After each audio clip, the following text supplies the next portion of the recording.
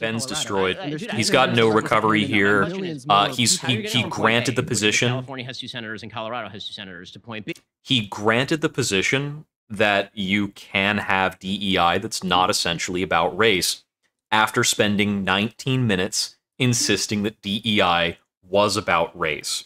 Um, ben abandoned his stance, um, and that is that should be the entire takeaway. You could pare this all down to the one bit, and uh, you, you could have maybe two bits. You have the bit where Ben gives his initial stance on what DEI is, and you have here where he is forced to abandon that position and accept the other Hmm. position.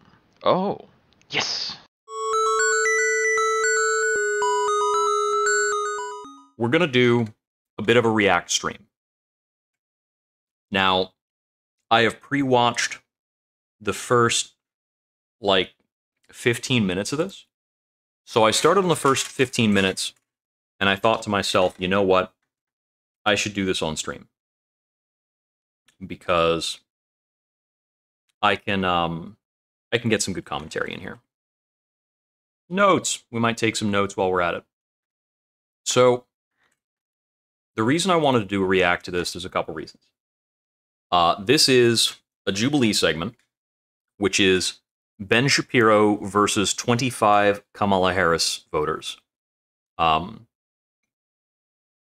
Kamala, Kam- Kamala, Kamala. I'm not sure which is correct. Um, I see people do corrections for that a lot. Uh, I've never kept track.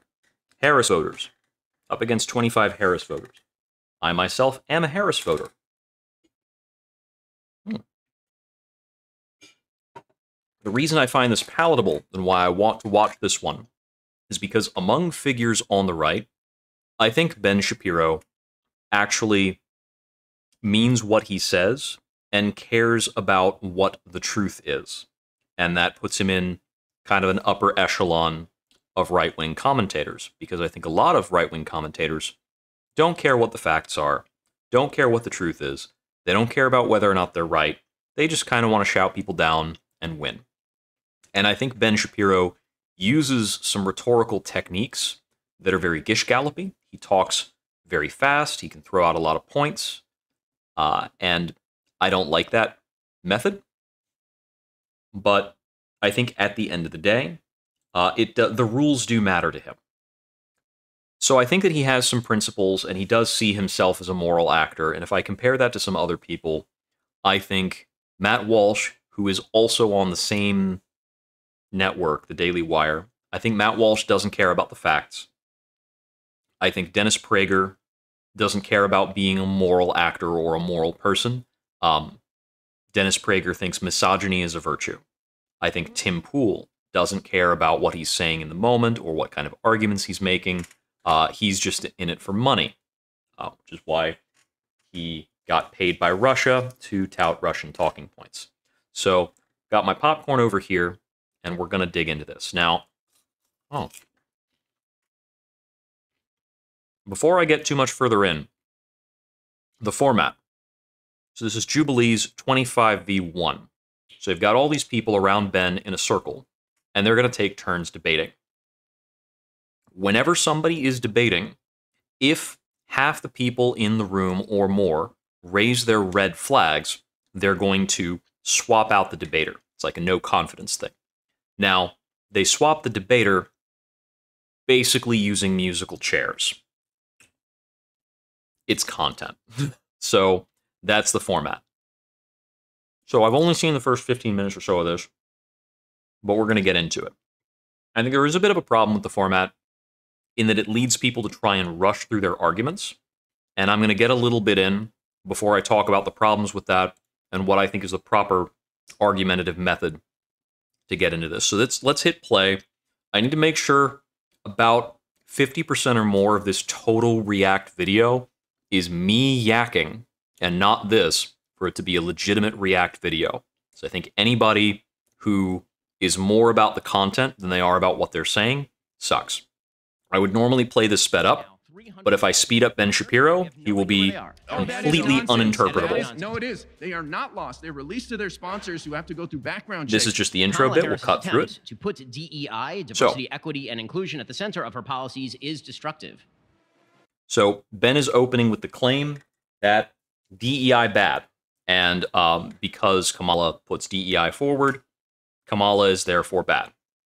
So the first thing to get into about this when somebody raises this, and the first thing I find among other people I've talked to in a couple different spaces, is you got to figure out what they mean by DEI. So the thing that people mean by DEI can be different, can be within a different range. It's usually uncharitable.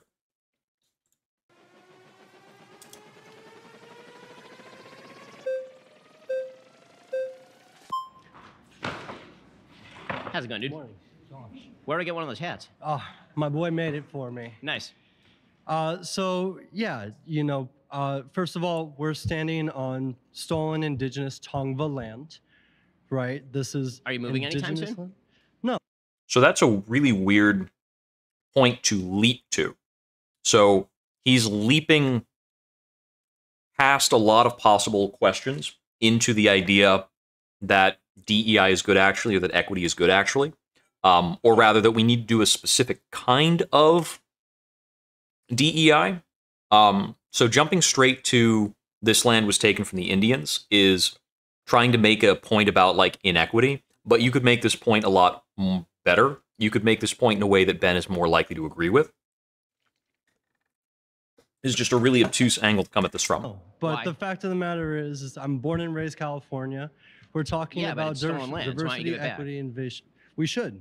So why don't we you? absolutely you should. could do it today, right now. Equity Great. invasion. We I should, that but means. that's not my point here. The point is, you're saying that diversity, equity. So Ben's just inclusion yakking destructive. there Yeah. because he doesn't know where this is going. So, when we look at this country that is built off the backs of slavery and white supremacy, taking the lead, building the roots and foundations of everything that you know and believe today, He's it's ironic to see a He's black correct, and Indian this is not woman who's rising great up angle for argument against Ben, I society, pushing them down. And this isn't just the fact that they're black and Indian and a woman. It's the fact that Can you give me an Those example of how society pushed Kamala Harris down, please? the demographic of This is an easy is end for Ben. Well, yeah, because this isn't getting to the that Kamala point. Harris is being pushed down by society. I'm not suggesting. This is a very long walk. I mean, that's So Okay, my point is saying I'm that sorry. And so he's voted out by replaced. Majority. Please return to oh, your seat. good to meet you. So you start the conversation. The first thing you want to establish within this conversation is what does Ben mean by DEI? You can make an assumption about what Ben means by DEI. We've all probably heard somebody make a dumb DEI argument, but you need to lay foundations. And this is um, something that I find is problematic in a lot of conversations and needs to be improved. And I might make another video about it later, but this is something I want to note. So, in a lot of these conversations, when you're coming up, especially if you need to score points really quick, the goal that a lot of people come into a conversation with is score points, use gotcha arguments, and that's like what their their their entire goal is to create a soundbite and score points by getting somebody in a gotcha argument.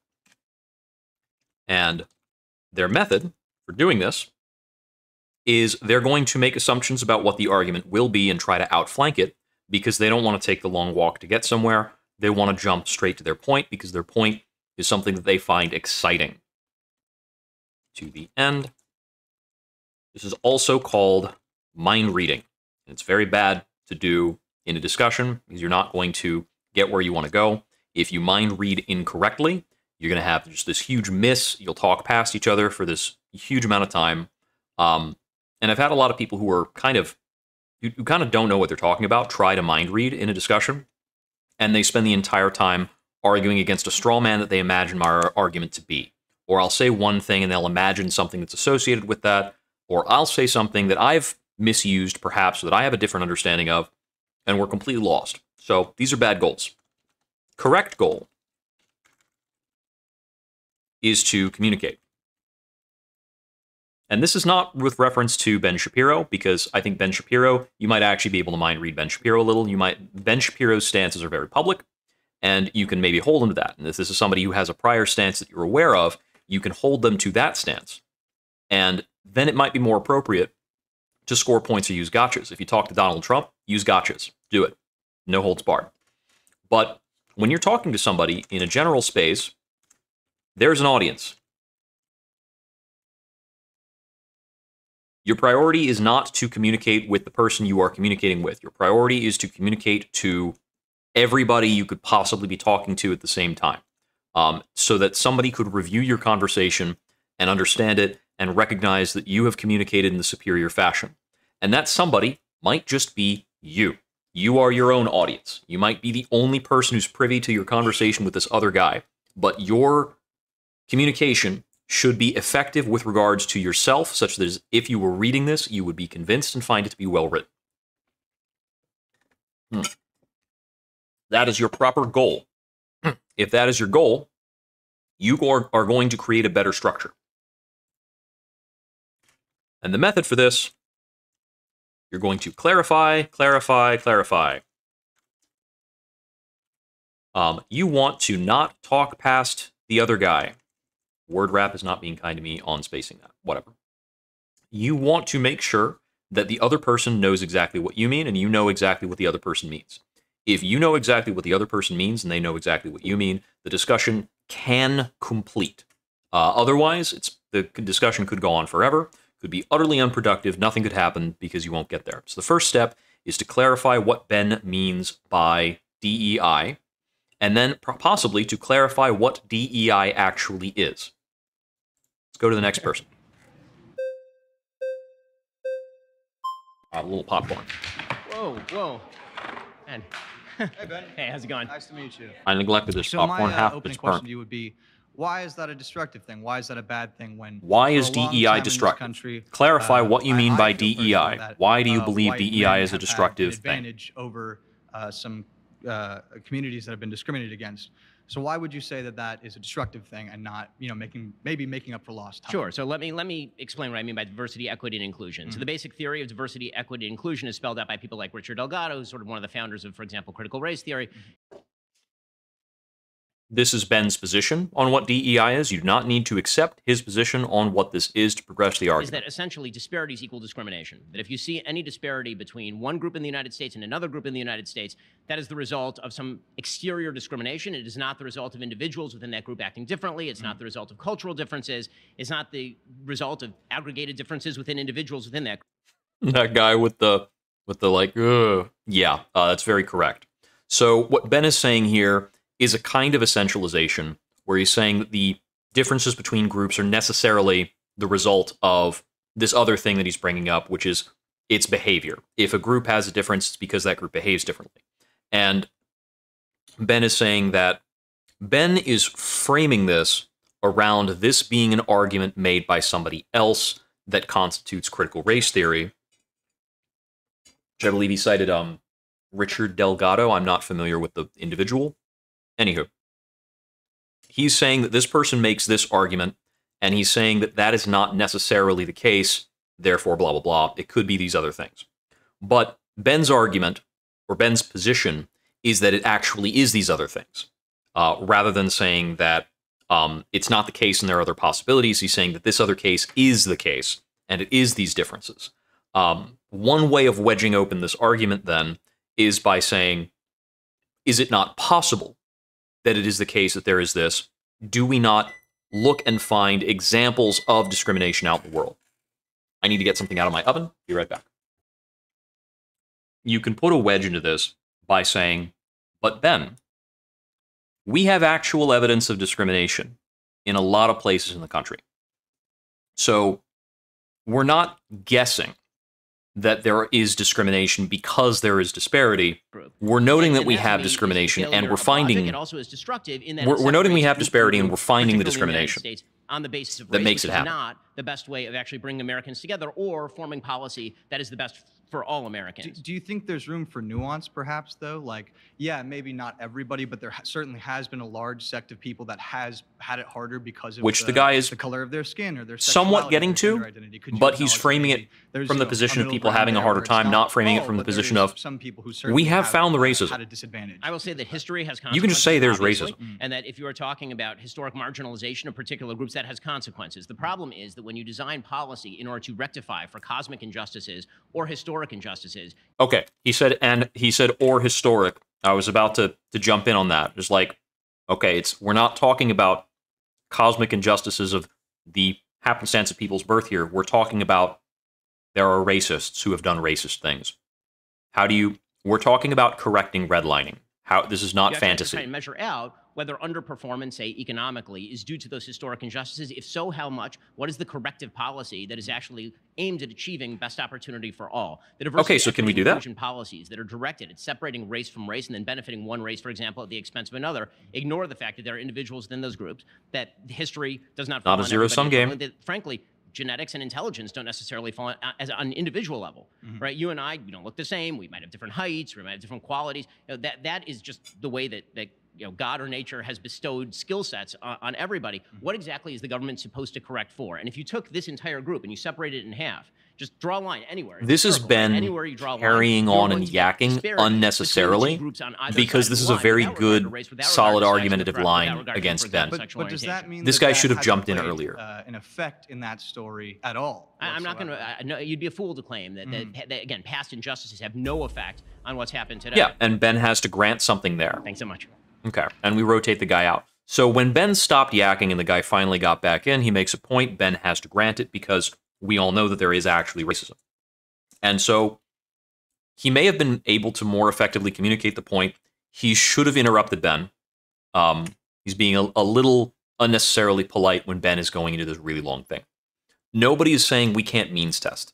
Um, so if you say that we want to get everybody up to a certain baseline, um, nobody is suggesting that um, a black college graduate has to be given a certain level of assistance because they're black. We could target the assistance at black people who are below the poverty line only, and that'd be fine. Nobody's saying that's nobody's saying that this these policies have to be a certain way, the way that Ben is painting them as.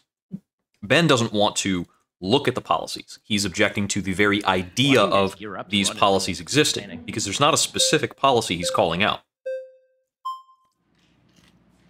That was so nice, everybody. Thank you. Um, so you believe that certain economic disparities between racial groups are caused as a result of economic, um, no, cultural differences? Sure. So she's And getting at the so fact that Ben was what is essentializing. on this? What would you say contributes to your belief in that? Okay, so This is a pretty good angle to go at, I think, in general, in terms of better understanding Ben. It's like, Ben, why are you essentializing people? What is your grounding for doing this? Why do you have this other thing? So this doesn't necessarily bring us towards the the win in the argument. I'm trying to do air quotes, but I have a popcorn in my hand. The win. But it might help us understand, Ben. This is good conversationally, not so much in terms of a debate. But I like I, I like it. I think that's a cool way to approach the topic. You can check this by the amount of hours that, the kids of particular culture study. So, for example, Korean Americans study a lot more than, for example, Latino Americans in terms of the, the number of hours that kids that kids study. It would be it would be hard to suggest what to attribute that to other than sort of parental guidance and, and what exactly the priorities are of the parents. Uh, this is true, by the way, between white people. Okay, so when I talk about disparities between groups, you can talk about white Appalachia, and there are very different values with regard to studying than there are for, say, upper class white Americans who are living in Brooklyn. Right? That, that's that's not the exact same Yeah, the thing. problem with so this is that it cultural lets differences Ben are yap. not just racial differences. I think that that Is there a hotkey for changing the playback speed? Map that on and pretend that that's all the same. That's obviously not true. But cultural differences do explain an enormous amount of group disparities across I incomes. speed. Uh, uh, to take a, take a perfect example, you know, if you look at, at single motherhood rates, they're not equivalent across groups. Those are going to have What's massive differences with regard to outcomes for children. So if you're talking about cultural differences, again, cultural is just a way. For, it was a rough way of saying how people act within a group on a large scale. And that is going to amount to some generalization, but that generalization is going to tend to, shall we say, concur. It's, it's going to correlate very highly with outcomes. Ben does not value culture, brevity. Um, is acclimated over time. It becomes a thing over time. And so, do you not think that these historical um, disadvantages that certain ethnic groups have been through over time has created this culture where in which they're unable? This is a very intelligent response. You do say that Asian Americans. How do you how do you divorce the historic study, discrimination but from the development of culture? If your account that after the argument is that Act, culture is Asian developed in a way that disadvantages certain groups and we shouldn't be addressing culture, country. how do you divorce Um, that? I can't quite read this fact check through the subtitles. Can I move the subtitles? Uh, Congress repealed the Chinese Exclusion Act in 1943. Okay, yeah, she's referring to um, discrimination against China that was going on for a time. And in What- what order were for the them, they were given visas, which allowed them to come into the. Yes, they were given I- I- easier I processes but into vi- visas. Yes, which allowed them into. No, it's a They form are- of reparations, which they were once excluded from coming in. Reparations And is a trigger word for Ben. He's triggered. opportunity to attain these visas allowed them into the U.S. And mainly the individuals who were able to attain those were people with higher educations, which is why it may seem that um, Asian Americans within the country who come in typically with higher incomes. She's making well really good points. I think um, she's a little shaky on her delivery. She's nervous. More studious than Latino Americans, but what we have to take into account is that um, Possibly Latin also America, angry. um, and Hispanic people have faced a lot a lot of They're- they're- tremendous setback due to historical So- atrocities. It's The- not their culture per se. What you see Is within there, is Yeah, I think she's rightfully angry. in here, or is it all historic circumstance? everything is based off of history. Everything acclimates. It's a mix, Ben. Everything's a mix of everything. So- we are allowed to look at way- various factors individually. So that was fun Thank anyway. I liked her points. Kids locking in. Whoa. Did there? hey, how's it going? How are you? Good to meet you. So your basis is saying that culturally people don't have the same advantages, right? Uh, I'm saying that that not every culture sort of in, initiates the same action within groups. What Ben is saying is that some cultures have a bad work ethic. It's a it's a racist argument. So in part, you're saying that you're part of each culture. You know what goes on in each culture to say these things. No, I'm saying that I can analyze the activities of a particular group with reference to their actual behavior. So if you go Okay. into my So Ben is getting at the idea that he's able to know what a culture is like by analyzing them. And I think there, this is a point where we, we could step back and look at the strategy of the discussion. So Ben has entered in with the point that DEI bad. That's his thing. So diversity, equity, and inclusion. And the problem we have here, part of the problem, we're effectively granting Ben the framework of Ben's understanding of diversity, equity, and inclusion. The way to get this argument to its proper conclusion is to, there are two ways of doing it. One is we can establish that there is a different interpretation of what diversity, equity, and inclusion properly means. Because ben, Ben's argument relies on mapping a specific understanding of DEI to the Harris campaign. Because he's saying that Harris is making this argument by making DEI a pillar of what she does. But the DEI that Harris is referring to is not necessarily the same DEI that Ben is referring to. So I think we need to go back to the words of diversity, equity, and inclusion, get into what that is. So the first thing to do here is probably say, like, there's racism, right? Like, we know there's racism. Should we do something about it? Should we do anything about it? Should we try to stop people from being racist? If somebody is saying that they won't rent to black people, or if they're saying they won't sell milkshakes to the Jews, maybe we should do something about that. Those would be equity policies. When you pre- any kind of discrimination prevention is an equity or an inclusion policy. The second question you get into, or the second line of attack you get to, you have to appeal to Ben on emotion because it's just not going to sink in. He's going to go back to something rote. So you have to hit him on a point where his rote argumentation is not on the same level. Because if you ask him, Ben, do you think you can understand what it's like to live as a black person by just observation without talking to black people? He's going to say, yeah, you probably can. So don't use black people. Say, like, Ben, can we understand the life experiences and the discrimination against the Jewish people without involving Jewish people? Because he's going to be a lot more tempted to say, no, you have to talk to Jewish people. And that's diversity. Like, okay, Ben, we need to involve Jewish people in our understanding of how to prevent anti Semitism, right? That's diversity. That's the diversity we need to ensure that we're not racist. And then with that, you're at a state to get Ben to grant diversity, equity, and inclusion because you just reduce the bar on what those things are. And you you can pretty easily communicate that this is the way Kamala Harris understands um, these various things. And that's that's the win. We're told that we can achieve anything through hard work. We have to work 10 times harder. But you're not part of our culture, so you're explaining something that doesn't have to do with you. But in turn, you're saying that that culture, unfortunately, does not value the same thing that the next culture does. So revealed preference tends to be a better way of doing social science than subjective perception. So revealed, per- So this revealed argument preference is how people is that, in the world. So for example, if you have Um, the people who Ben, you don't know what it's like to be black. You can't tell us what it's like to be kids don't study black, and you can't tell us what our culture is. Okay. Everybody has everybody so has then, a- when a you Which is emotionally reasonable argument to make, in Ameri- But to make this America, argument there are people effectively to Ben Shapiro, you have to frame it around Jewishness so they'll listen. Hard. What is that called then? Okay, so the, the idea that, that people generally value nepotism over study. So then they get like into the evidence of that, given the fact nepotism vast in the- in the corporate wealth this world, country is not which created Ben's through not gonna pick up on. or through inherited wealth. But Donald Trump was given nepotism, was he not? I mean, he, That's correct, he's yes. One example among a, a bajillion. Donald Trump also very, very wealthy exercises a country. I'm very shitload of wealthy now. I nepotism. certainly wasn't born very wealthy. Ben's But never criticized you him can't for it. speak on Donald Trump's I- But I mean, experience. Nepotism is not Okay. I mean, directly you- you- you related laugh to what we're particular talking history, about. But I grew up in, a, in an 1100 not DEI square foot home related. in Burbank, California, with four siblings in one bedroom. And Burbank. And now they're talking like Oh, uh, hold on. Sorry, go ahead. in Super Burbank, local stuff. I'm, sorry, but I'm gonna in fast Burbank, forward a bit. growing up in South Central, being told that you have to excel 10 times harder than the next person, but then you're not part of the culture, to say that you can actually come to these disparities. Yeah, is this is getting very far-sighted. regionally The idea that specific. You have to work 10 times harder coming from South Central based on, for example, test scores. Obviously not true. We've had affirmative action programs in this country for solidly But 40 now years. affirmative action is gone. It's out the door. Thank now God, DEI is present. DEI is actually saying that we need to have diversity, equity, inclusion. So you're actually putting a footing in the door for different races, different genders, different women, different men, That's- everything. So now you're saying that because this program's gone, this one isn't. Sorry, you've been voted out by the majority. Please Okay, return they voted him out. Seat. Yeah, affirmative action is like the old uh, phrasing for what is now Yeah, referred to as jackrabbit.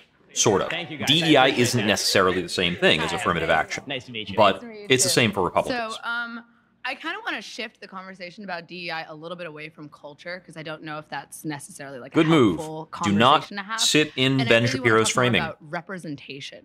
So, Representation. Uh, one in five Americans currently is Hispanic. This country, like it or not, is not a homogenous country. We are a very diverse country. Mhm. Do you not think that our legislators should be representative of the overall population? Uh, I don't see a way that you can have a, a reasonable statement. legislature with 435 members of, of Congress. and But country of there's nothing in here that Ben up needs to It's not by grant. race, He can just by sex, refer you can do to, like, gender, you do it by sexual logistical realities of achieving what's being talked what is, about. quote-unquote, the representative group. The also, I don't believe legislature is not ought to be normally something that represented based on DEI reflects so, for on, example, I'm or is meant to reflect on. Jews are actually overrepresented in Congress. I don't think that, that we ought to decide exactly how many people in Congress are Jewish based on the Jewish population of the country. I think that's that's actually a pretty silly way to do representation. Ben's Well, we just don't have to correct here, actually. But fundamentally, there is an issue with the fact that we are not fully represented. Like the entire population is not represented. I mean, we have that's not true. never We had a black female president.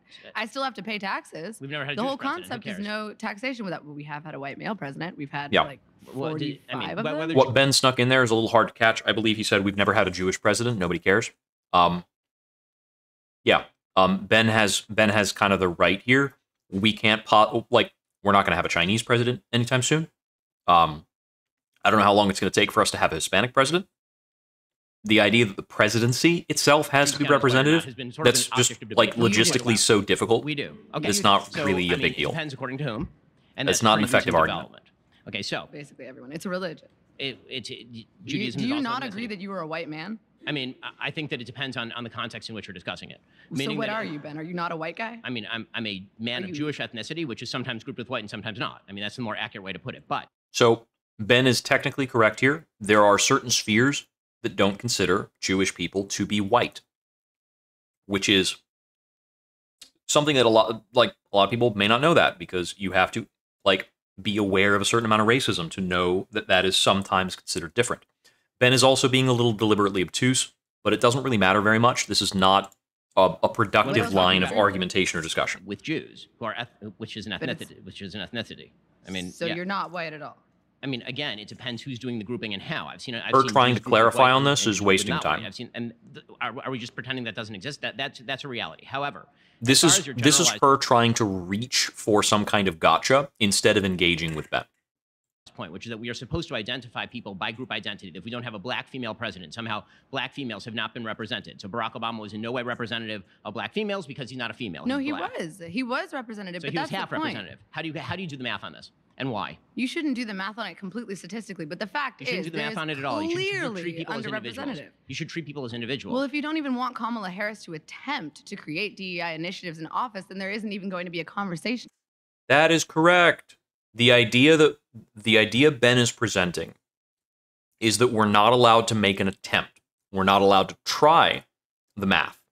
So that's the way that's part of the way of making an effective argument against Ben is by noting, Ben, you are cutting this off before looking at any research.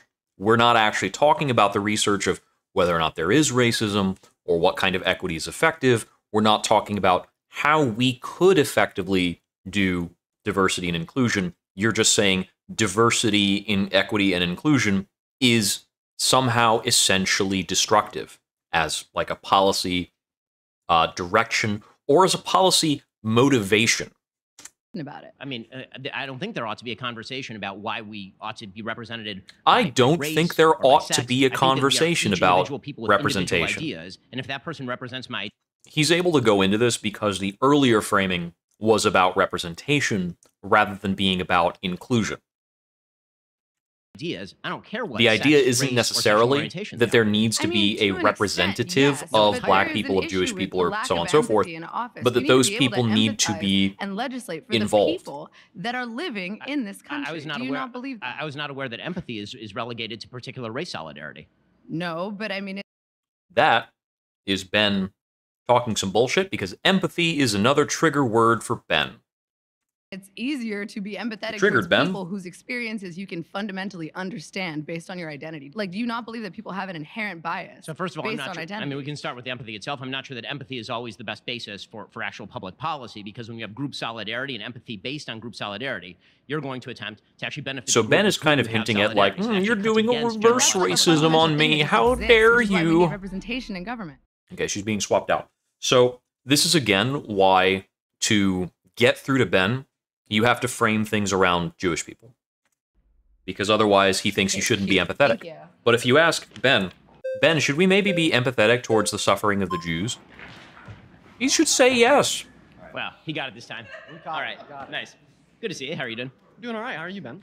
You know, it's been a day. I think I might have seen this it's kid on bit of, social like, media. An interesting setting, being surrounded by 20 people that disagree with you. I mean, the, the Okay, truth kids grew may be a little and then I went to derogatory of me, but he's definitely a young guy. So, So I'm, I'm a a little used to it. than It's, it's, uh, yeah, I've, Any, I've been any- before. anyways, let's talk about uh, DEI. Do you think that Trump should have won 2016? Uh, I'll wrap it in. It's This is a fun little relevant. intro. I'll demonstrate the relevance. Okay, sounds good. I've So, seen the uh, start of this by- bit. By what measure? Do I think he did win, or do I think he should have won? Do you think he should have won? I mean, yes, I'm happy that he won. If the question is, am I happy that he won? I'm happy that he won. Okay. Well, I'd say that Trump won 2016 because By the way, I did not vote for either candidate in 2016. That's a decision made in retrospect. Awesome. So uh, I think that Trump won 2016 because of a modality of DEI. Uh, essentially, what I'd say is the Electoral College, right, strives for inclusion This of is a smaller good states novel with lower populations by overrepresenting them in the overall vote. Um, like you could correct me if I'm wrong, or the sand fact checkers. This can. is an I'm interesting sure that, argument to make. Over the last 25 to 30 years, Republicans have won the presidency given the Electoral College, not given the overall popular vote. So if you're against DEI, if you don't want inclusion on the basis of race, and The Electoral on the College basis of is an equity or policy. even what you're saying earlier, we could even say inclusion on the basis of class. Why do you want inclusion on the basis of population, rural areas, states? We should actually use a better. And there is an assumption being made about Ben's view because Ben was not asked the question, Do you think the Electoral College is good policy? He was asked the question, Do you think Donald Trump should have won?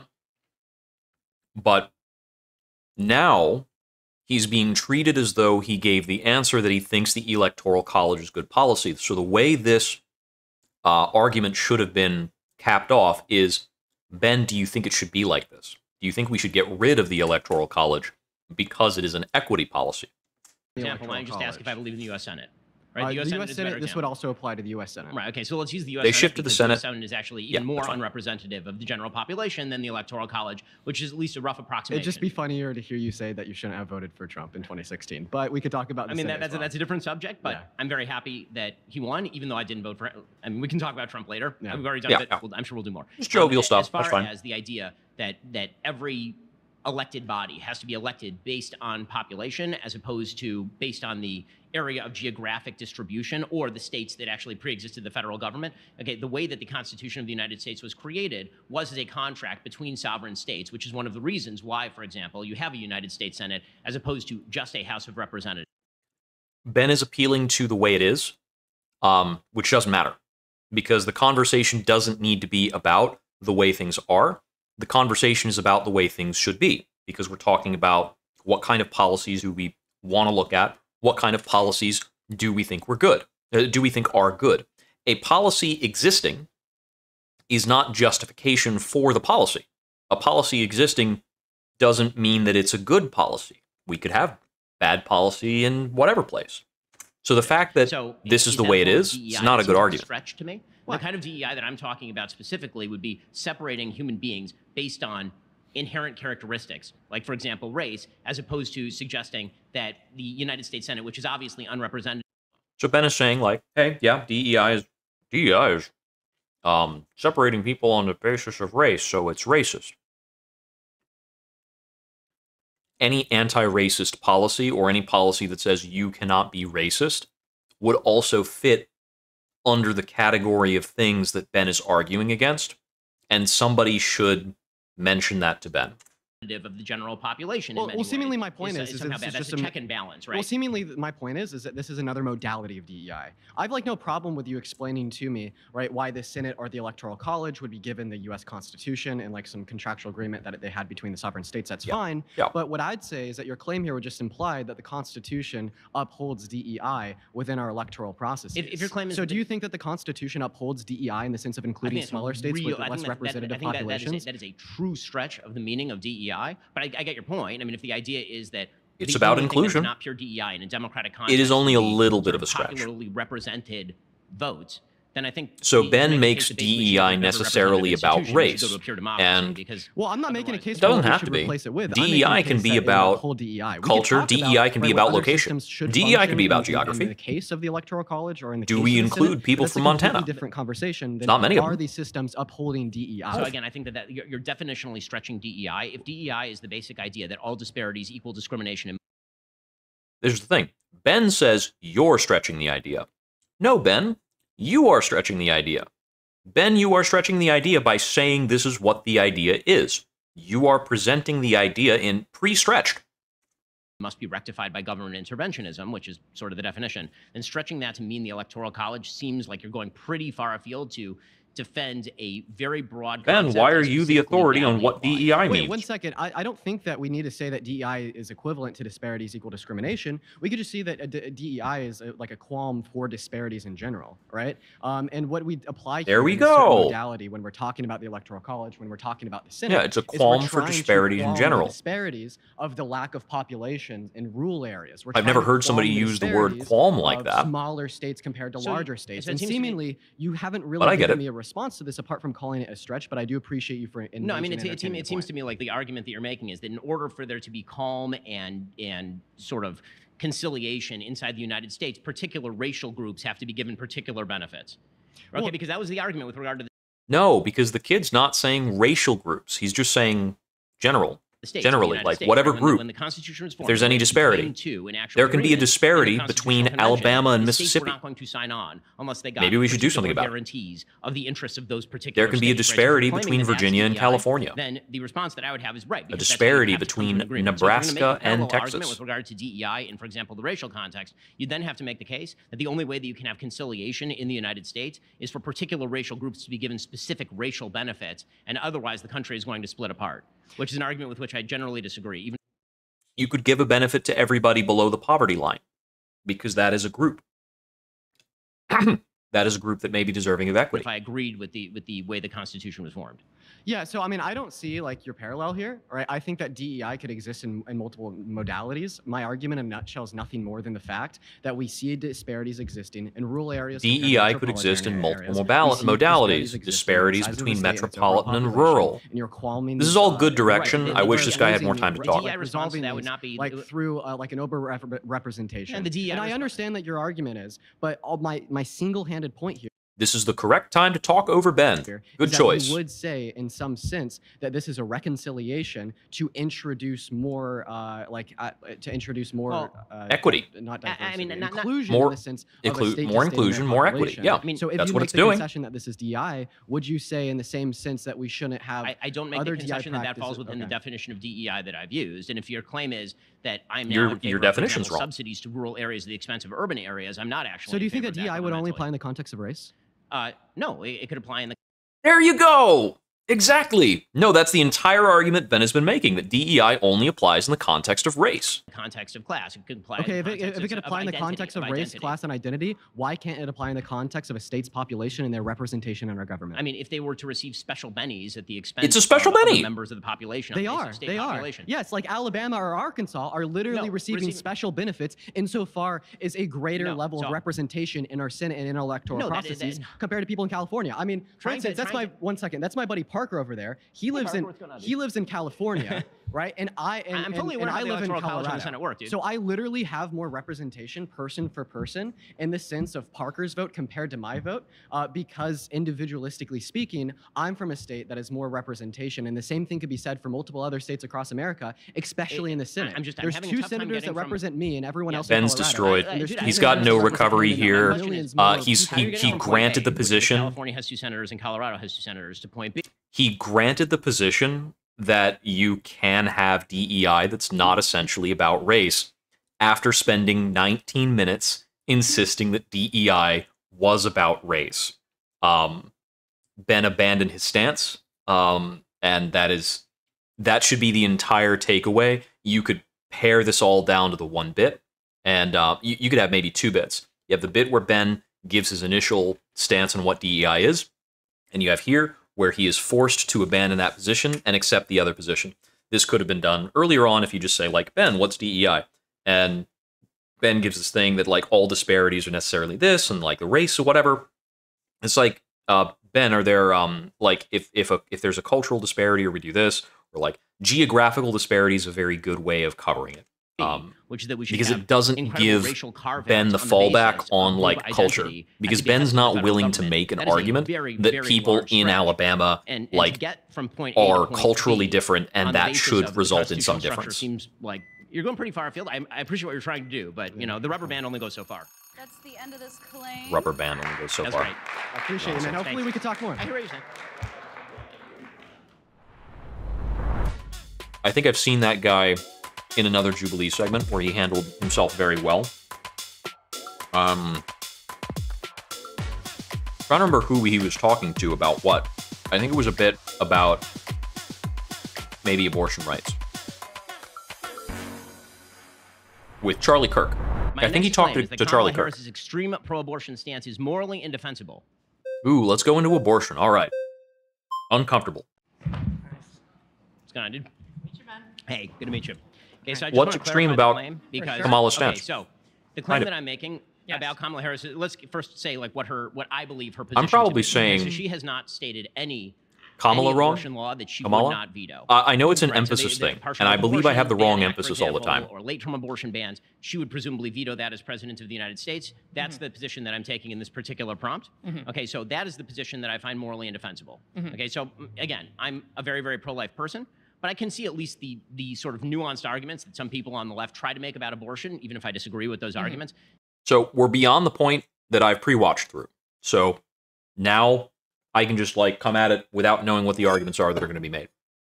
So if Ben Shapiro presents me with this position, what I'm going to say is like, Ben, if you make the government the authority on whether or not a late-term abortion occurs, that means, even with exceptions, that means that a doctor patient scenario where they need to perform a late term abortion for medical reasons is then open to malicious legislation uh, or malicious litigation. Litigation is the word. Is then open to malicious litigation from huge moneyed bodies of people who want to stop all abortion forever.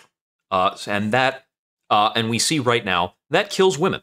So if you don't allow, if you put the government in that state, you are making women die. That's just the way it works. Um, you have to you have to hold the position on abortion that it is a doctor's choice.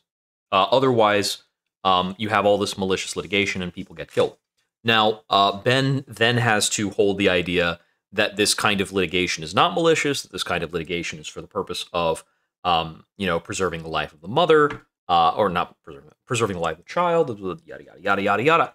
So then you could get into the violinist argument that um, uh, in order for uh, abortion to be wrong, um, the fetus needs to be a kind of entity that is uniquely privileged over all other uh, like living human beings because there's no other situation with a living there's no situ- situation where a living human being is entitled to another human being's blood and the argument that a pro-abortion advocate needs to make is that at some point a fetus is entitled to the blood of the mother and that make, means the fetus is a uniquely privileged being um, they're not necessarily unwilling to make that argument. I think they're totally willing to make that argument, but I think that's a good argument for the pro-abortion point to stand on. making, which is effectively abortion until birth should be in no way regulated, I find that to be morally indefensible. My understanding right now is that a majority of Democrats would not support abortion through birth. My understanding is the the more popular position. I don't think any state lets you go through birth. Maybe I'm off on that. Maybe there's a couple. Well, Um, California and New York, actually. Okay, understood. Um, uh, but yeah, uh, I think the key claim is is basically I think most Democrats would want abortion within the first few weeks prior to the development of my personal moral. I do think that the majority Democratic argument is probably abortion for about the first six or seven months. I think most Democrats um, wouldn't make an argument uh, about repealing bans on abortion in like the the if you're if we're getting into the third trimester, I think more Democrats get shaky on it. They're moral cowards. Starting point of life is that the mind is the seat of consciousness the brain is the you know is where your self is. If you replace your heart you have a robo heart you're chilling. If you replace your brain you're a different person you're dead. Um, and i think that when that brain first starts to develop that's sort of where i see the beginning of life and where the fetus gets their first uh, moral consideration. Would you agree that abortion before walking Ben away from his position because Ben has characterized the Harris campaign with having a certain position. Walking him away from that position and saying that's not what a majority of Democrats are about is a reasonable way of approaching this. where that point is tolerable Uh, no, I don't agree with that. Mhm. But uh, again, quick question, just as far as defining the positions. Yeah. So would you agree that late-term abortion I would, is indefensible? yeah i would yeah I, I, that's not my position i would Okay, not so, I mean, that so, so you actually Somebody agree else should prompt. jump in at this okay, point. So now, now we get into the broader Okay, abortion yep. conversation. That's fine. I Mhm, mean, no worries. That's totally cool. Yeah. So yes, no, I, do you do you feel that a majority of democrats support through like I would be red A flagging here. before birth Uh, a- a majority like, of nope. Democrats have not supported any. We need a real abor- a real champion of abortion in here. In my entire lifetime, nor do I suppose that they will. So if there were to be a, a consensus 15-week abortion ban, for example, which is about the status in, in Europe, uh, I, I would assume that virtually all Democrats would vote Consensus 15 week would be um still second trimester. against that 15-week abortion ban. Mhm. So, they, so well, well, well, you know, I may agree with your more moderate position, or at least use that as a starting point. Mhm. Uh, I, that, that is certainly not where the Democratic Party historically has been, nor is it where the Democratic Party is right All right, now. awesome. Understood. And just to uh, understand where you begin your moral consideration for a fetus. Uh, where- where I consider Yeah, yeah, yeah. at conception, Mhm. right? So I, I I believe in life that life begins at conception. You now Okay. have This is a good point to um clarify. This is a good human being. clarification. You do want to find out from your opponent where they actually stand on this before you get to other arguments. So Ben is holding at conception. At conception is incredibly, incredibly hard to defend because, like, at conception, Ben might have to come out as against IVF, which looks really crazy. He might have to come out as against birth control, which is also very crazy. Uh, because if you're saying like it also depends on where you draw the line at conception. I've seen some people who say that conception is not complete until uh, proper implantation in the womb, um, and so that person believes that it's still okay to provide um, abortive treatment for a um, uh, an ectopic pregnancy. And if you if you think that it is not okay to provide um, uh, abortive uh, care for an ectopic pregnancy, you should be punched in the face for having that stance. And then the question is exactly. She could further clarify on what Ben thinks about that, possibly about what he is, fact, considers conception to be. Interest to, for example, a woman's "quote unquote" right to choose. Once you once you acknowledge there's an independent okay, interest. Sure. Thank you so much for your time, Ben. Probably a good swap. I'm I'm hoping to see somebody out who is um, more pro-abortion. You're good. You can relax. Hi, Doing well. How are you? Hello. Um, nice to meet you. Uh, oh wow, you look better in person. Okay, so That's very sweet of you. um, I don't often get that, so thank okay, you. It's fine. Look um, better in yeah, person uh, is crazy. So yeah, uh, how do you define abortion really quickly? Uh, abortion would be the forcible termination of a of an unborn human life. Yes, but like, why do you hold that definition? Like, uh, would you not like assume like something like a like a C-section would be considered an abortion?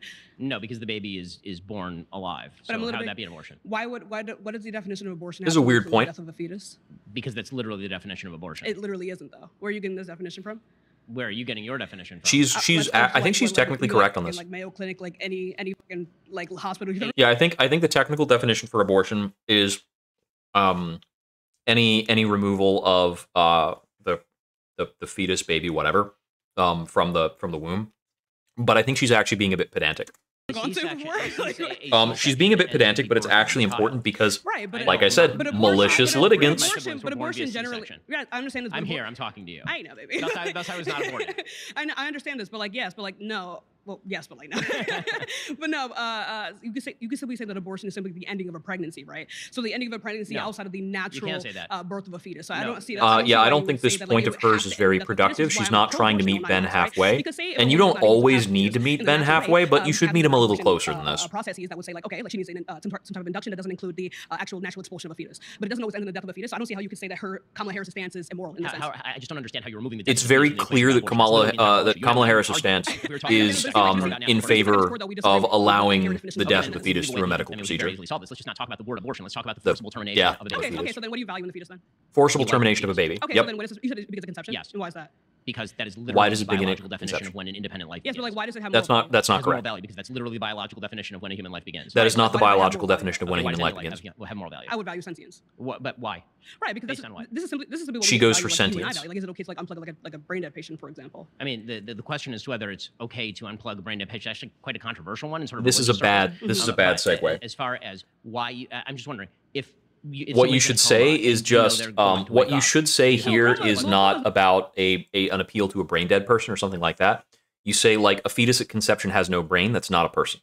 Uh, uh, like that is not a person. That is not biologically like life necessarily. Like to say that that is biological life is like saying you know that's an amoeba. Like it, it doesn't it doesn't seem clear that we should value that the way we value a human being. Though. We know that there's future sentience there. Like so, she puts like the line at like um, future, sentience. Like, I'm sorry, past, present, I, future I, sentience. I mean, but like a person in a coma uh, has has. Uh, I agree. Uh, and, and jumping to the coma patient, I've seen a lot of guaranteed future um, sentience. Well, I've seen no, a lot of pro-life people try to jump the coma patient like it's some kind of win. Like a coma patient is somehow similar to um pre brain uh, fetal tissue. They're not at all the oh. same. Go for it. All right. Let's hear it. What do we got? Just for honestly, God, just for that, I forfeit. That's like some serious oh, efforting right there. Well done. Really well done. Thank you. Yeah. So on the topic of abortion, he's got some respect. I think we have a big focus on the moral aspects of abortion, but I do think we should talk about the legal aspects of life because when a baby the legal aspects. Thank you very much. Birth certificate, social security card. When there are a fetus, I mean, when it's like cells in the body, you don't get the birth certificate. You don't get a social security card because referring to it as cells in the body is when apt. Comes to like the moral repercussions of it's a good. Abortion, it's a good. It's a good subtle shift of what exactly we're talking about. Different than legally because if you do not have to grant them the framing. was equivalent to a baby. I should be able to have tax deductions on that kid. I should be able to have child care from the government. I should be able to have child support from the father. But so the government like, the clusters of cells and not legally recognized, like, morally or hasn't. the government has never legally recognized um, right. so the state of, of a pregnancy. The legal positivist position, I think, to shield against the morality here is a problem, and I'll tell you why. Okay. So when, when it comes to First of all, don't threaten me with a good time. I'm perfectly happy to have people pay paternity for children that are that are currently in utero. Okay. Like that, that's fine with me. In fact, I think that'd be quite good. I think it would incentivize yeah, fathers. Yeah, Ben's not swayed by this, and it makes sense that he's not swayed by this.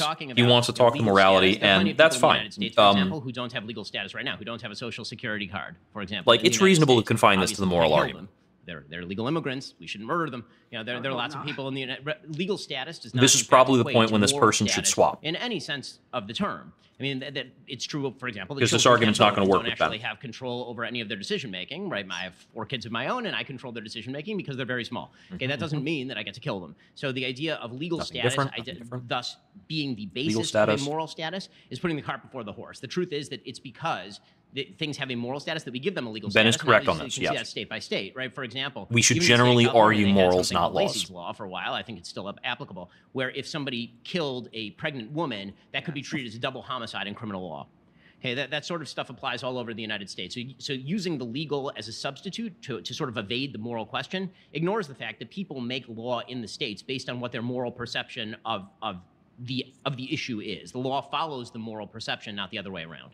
Yes, I agree, but I think there is a problem with the moral perception, especially when you consider that morality varies all across America. It's not uniform anywhere. And that's a big problem, especially when you see in the South when they're having like six week Mm. abortion bans, which is detrimental to women's I don't Because as we see like Georgia this argument. right You now, have to argue there were why it's two women immoral who were pregnant, to create to the a ban. hospital, get health care, and they were denied that care because there was confusion surrounding abortion laws. That's Okay, so she's focus on the kind of getting to it, it, that's something that's but there are better ways of approaching this. What you need to say goes very state is that I mean, you yourself passing the law So, in a certain way sort of- creates we can get into immoral scenarios. Of those particular Georgia cases, one of them particularly has been relatively badly covered. It's about a woman who took basically both doses of, of the abortion medication. Uh, she took it without the supervision of a doctor. Uh, she then experienced essentially sepsis, and she went to the hospital late. And then, under no interpretation, by, by this point, both of, she, she had twins. Both of the fetuses were unfortunately dead by this point, so there actually was no legal problem with performing a D&C at that time, and the hospital misinterpreted the law. You know, but without getting into more details about that particular case, Why?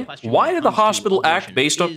Why did the hospital act in a certain way that endangered a life based on a misinterpretation of the law? Maybe it's because when you open the door for malicious litigation of hospitals, you create bad health outcomes. And maybe doing that, creating that framework, is immoral. was and always will be how we weigh two separate considerations. One is the moral value of the life of the fetus, and the second If you create a woman's right framework that causes people to die, sort of have you done exclusive, something bad? Meaning that I don't have a right to choose about your life, right? About whether I get to kill you or not. Or So about the the way we create the framework does matter. Uh, and and so the right to choose is obviated by the acknowledgement of a moral status on the part of the child, and vice versa, right? If you, if you if you're willing to say that the, the child has no moral status whatever, then there really is no problem with abortion. The, the big It's like, would you be willing to concede, Ben Shapiro, that wherever we set the law and whatever we decide, if the doctor says that he's followed the law, how about we don't check? Could we do that? Can we trust the doctor to? Uh, can we trust the doctor as the authority on it? He has to say no. big moral problem I have with the sort of So you got okay. So you've created I have. you've created through the law an externality that will cause people to die. That's evil. I think I think I got I think I got the I got the judges over here. All right. hey, nice to meet you, man. Let's all see you again later, dude. All right. Almost Nice had to our meet our, uh, Hey, our uh, winner back, but this is a new uh, this is a new guy. Appreciate you being here and, and having an open discussion. Yeah, you bet it's fun. Let's say that just hypothetically. I'm getting the right? burnt popcorn now. Baby's born. Mm-hmm. Baby, mama can't feed the baby. She's not breastfeeding. Baby. This is not a good argument. Morally, do you feel like that would be better than if the baby would have just been like? You give it up for adoption. You put it into child protective services. There's like so many answers to this. Aborted Once the child is born, it's a person. It was born. I mean, I'm, I'm not sure that there's any. I mean, I think that it's significantly worse to purposefully kill a, a child rather than accidentally or through Yeah, it's kill a sig- child. it's significantantly worse. Right? She She can. told there are no food stamps. There's, there's Yeah. literally nothing. Ben is looking to clarify. by He's like, herself and the baby's going why to die. Is isn't that abortion why isn't adoption part of this decides discussion? To, you know, because she doesn't want the baby for economic self-evidently. Because it was born. be Duh. born, like, that if get out of here. doesn't You can't make that says argument. I can't account the food. The No, fridge that is a hot, and it different was given to problem. people who are only in it because they're getting You just get that solved. morally superior to killing them. Yes. to, before they're born. Yes, So it we're is saying that morally. Yeah, mistreating somebody there, is who might not morally superior to killing them trivially. If you can't, if you're, if the only way you survive is food and water, Yeah, it's and you rely really on someone else bad. to Provide that to you.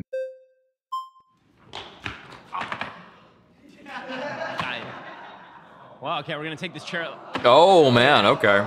Power move. like a bro, my friend. All right. How's it going? Let's break open a- So, uh, first beer or question: something. Can men get pregnant? Men cannot get pregnant. Okay. Awesome. Mm, I don't.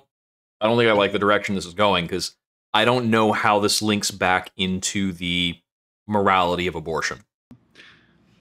So uh, I don't know how you talk about abortion uh, and the morality of abortion in a better way by um, getting to you know trans specificities. Uh, do men experience SA? Sexual assault. Sure. Got it. Yeah, easy, trivial. What about the existence of trans men? What, what about the existence? Uh, do you mean What about it is correct. What are you getting at? men? What are what are we talking about here? Men- Now Ben's Ben's awful on So the trans stuff. question is, do you Ben benefit from white Ben does not believe way, that like trans people I- exist. Basically, in, in I- I'm, I'm going to need more specifics on what you mean by white Well, here, let me give it to you then. Sure, please. So I'm a transgender man. Okay. I've experienced SA. Okay. And abortion rights affect me directly. So if we're talking about the American Interesting, dream that we okay. live, So- why don't I have access to that? Because there's no legislation, what in the history of America, that legislates a man's body. So why does mine have to be legislated? I've got a vagina.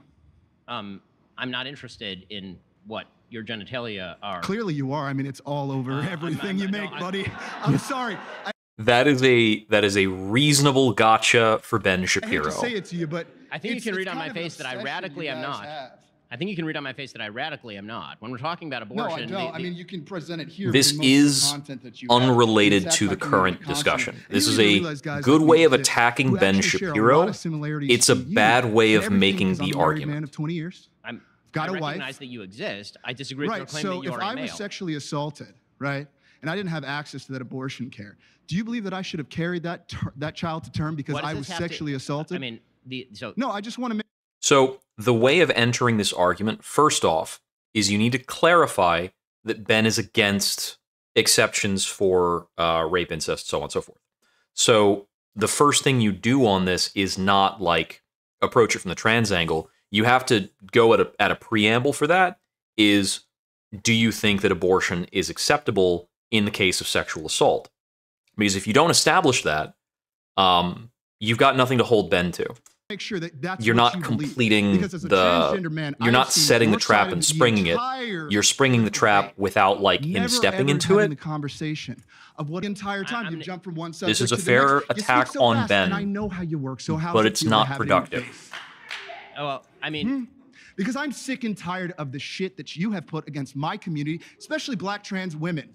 Because you It's not a good use of the format all of our needs and then or the time. as when we're You can make a more effective argument for on the morality of abortion. struggling, and you want to focus and on you're trans bailing on that focus on to score points against Ben. I hate this. situation. Pleasure to meet you. Okay, like I'm sorry, that's childish. It, it's it, there's a lot of tension in the room now. Let's let's let's stay cordial. Let's stay respectful, please, please, please. Yeah, yeah. It's not productive to just show up and have a Hi, how are you? tirade at Ben. Nice to meet you. So let's say that I get it, I'm Ben's voted out by terrible. My friends here, and I stand up and immediately collapse onto the ground. Uh, paramedics rush in, and through some magical means, they determine that the only person who can save my life is you. You can do that by giving me a transplant. Mm-hmm. Can you be forced to give me a transplant? I cannot. Why? Correct. Uh, because I do not have a parental relationship with you, and thus I do not owe you a duty Mm, of care. so it's tr- in the so can you make a parent if, give a say, transplant? You were my son. Can a If my parent be son- forced to give a kid a transplant? Yes, a parent can. No, parent they can can't. That's not correct. That's not legal. That's not um that has a very very very poor ethical grounding. be forced to give a kid an enormous number of resources, or should be. Can you be forced to give me blood? No. Do you believe that the average person should be able to be forced by the government to do something with their body?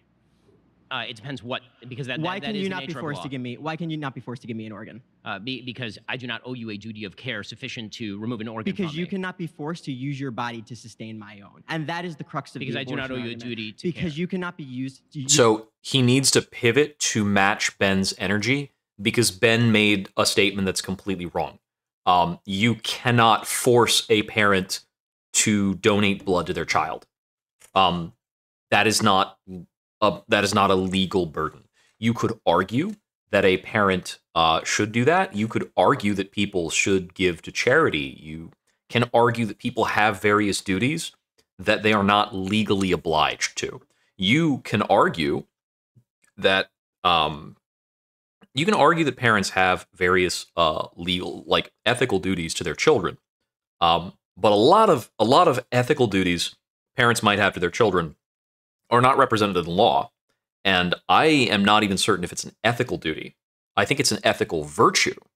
Um, but virtues and duties uh, are different. There's a gap. You cannot be forced to use your body to sustain my own, and that is the crux of the abortion argument. And the problem is, and it's very morally You're ignoring the parental no, relationship. but but th- because there's a point here. There's a very Ben's correct to point that out. He needs to get back to the parental relationship. morally your own. Then He needs to get within the believe that a woman parental part of the argument. sustain A child that they do Ben not is want Ben to is making a clear exception utero here, is the same but Ben's exception argument. is Well, it extra legal. It doesn't matter how you get there. Let's say that you crash into me on the way out of here. Well, no, it's if you actually- if you hit He's just restating the same it argument. is. It's uh, it's no longer let's say that helpful. He had a very on the way out good direction. This is the crash into me, right way in. That that between the two bodies. So a better example would be the so-called dead violinist example or dying violinist. The dead vi- example. yep, the dead put forward by a violinist philosopher, example. I can't remember her name. It's a good one. Uh, the basic idea there is that you wake up in a room and I'm connected to you, right? And you you have some sort of health condition. I'm Do I to have you, the right to and I'm giving disconnect you? a blood transfusion, and if I remove that. You'll die. Do I have a duty not to remove it? I think there's actually a fairly decent case that I actually do have a duty. No, you not do not. remove it. You do not have Well, a you- duty to be forced to. No, why are you, you defining you my do- moral position? You do not have. Um, yeah. Uh, so uh, you do not have the government does not impart that duty. The government does not enforce that duty. Um, if you impl- if you believe there's a duty, that's cute. But the question is whether or not we should have a law about that. Also, the question is whether or not it's extreme.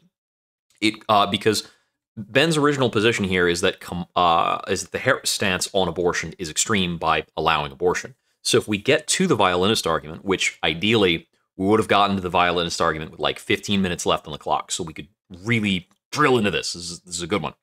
Um, because Ben's stance is that the government needs to mandate you stay connected to the violinist.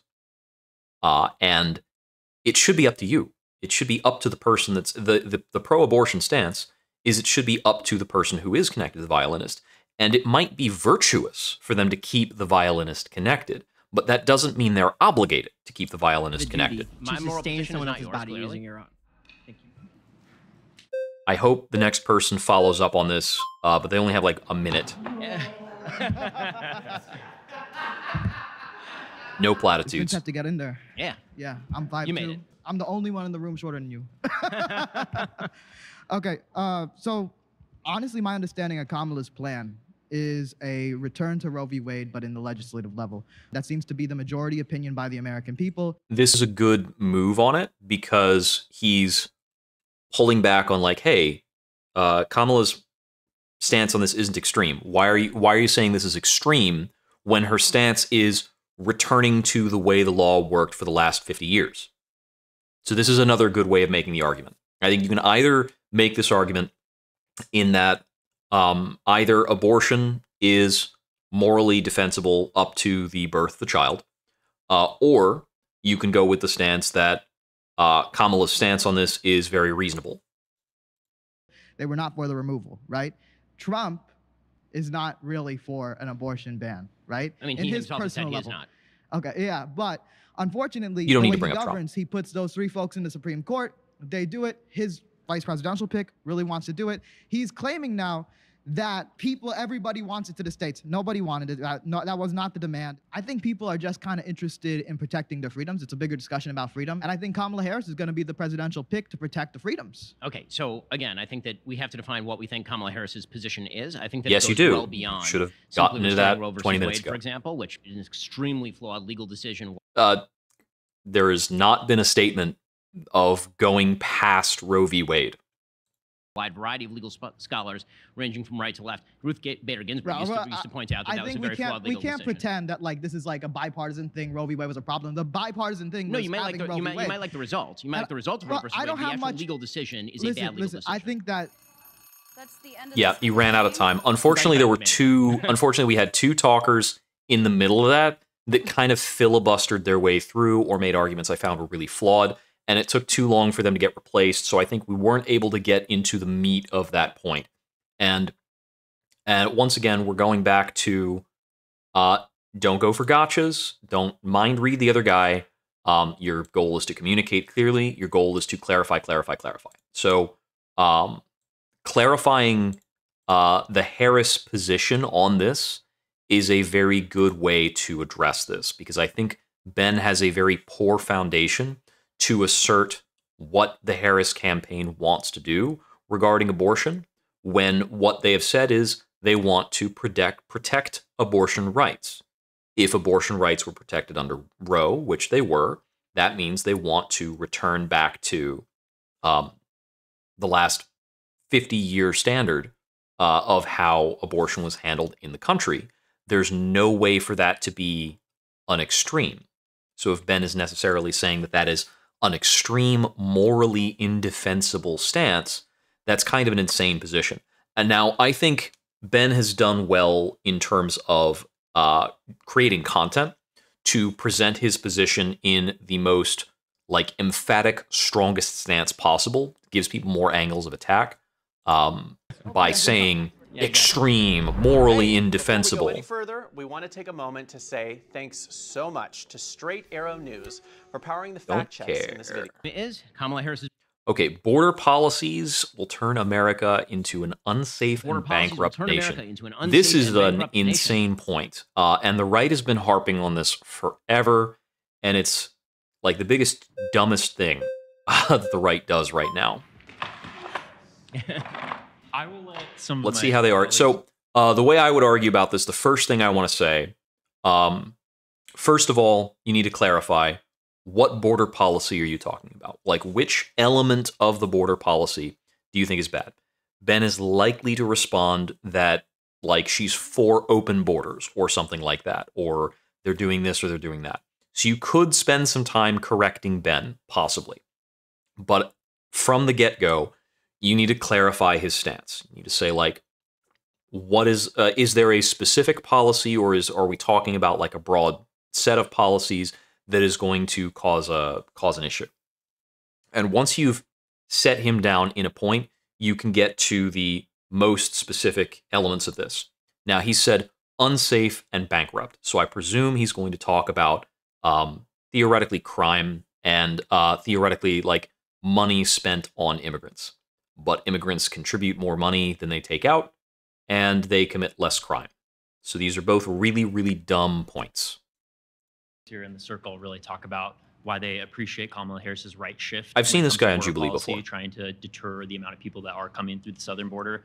That's not something I'm particularly passionate about. So I'm, I'm more inclined to talk. This about is right of this guy to you, say- somebody who purports himself as someone who's uber capitalist want to remove the labor pool from this country, which always increases to business and economic growth. Right. So I'm not interested in removing the labor pool from the country as a general Yeah, rule. yes, However, you are, you are. I don't believe That's- that it's that's an your position. Economic benefit to the United States to bring in a low skill, low education labor pool. Low skill, yeah, he gives them that look. significantly From public benefits, for example, and there, there are very good data to show that there's huge reliance on, say, emergency rooms, educational facilities. Uh, based on the Center for Immigration Studies, there's a net cost to low-wage, low-skill immigration coming So into the country. you're in favor with emergency rooms just deterring people based on what they look like or what might be perceived as someone with a lack of citizenship? No, I'm, I'm This I'm is a pretty favor of good way of cutting amount back in on that. Illegal immigration to, to zero, and then allowing a fair bit of, of legal immigration.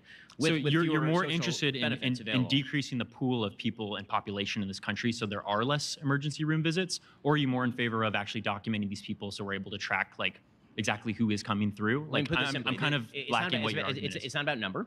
It's about the people. That's a good in. that's a good clarification is do you want to just cut people down or are you more interested in making sure people are tracked? Republicans are not consistent about this because Republicans will say and they will voice that they just want legal immigration. They just want people to be tracked. But the actual way they do policies, the way they talk about people, they don't actually care about whether people are illegal or not. I don't think that necessarily applies to Ben because I haven't heard Ben talk about immigration very much. He's always usually talking about like trans stuff, abortion stuff, blah blah blah blah blah. Um, uh, the fact that Ben keeps going back to like uh, low skill, low education, um, is very annoying uh, for a lot of reasons because it gives him like a platform to stand on or a way to separate his statistics that isn't really fair.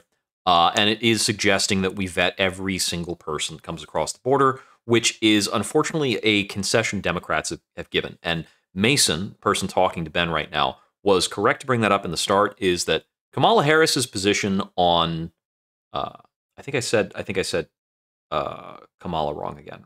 I, I, I oh the Harris position on immigration is uh, to the right of where I would like it to be. We should be pro-immigration. And I believe that we should everybody who comes into we should be should come into a legal pro mechanism, all and the United immigration. It's to be able to all good.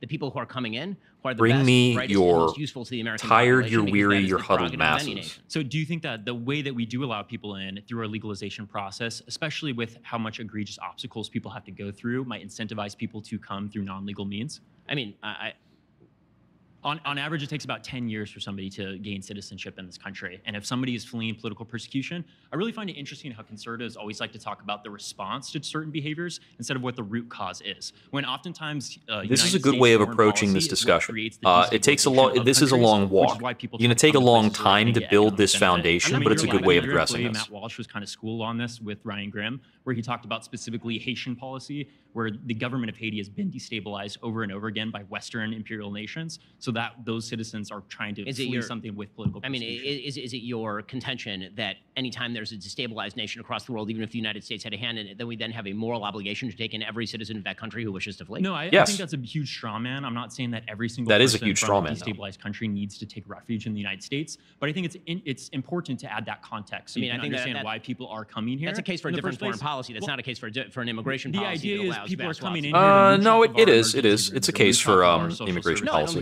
That's not true at all. I mean, uh, no, no, It's no, not true at all. That's correct. not- that is not That's your big contention. contention. You said literally that. You you went you went literally. For, okay, that's a hilarious pause frame for me.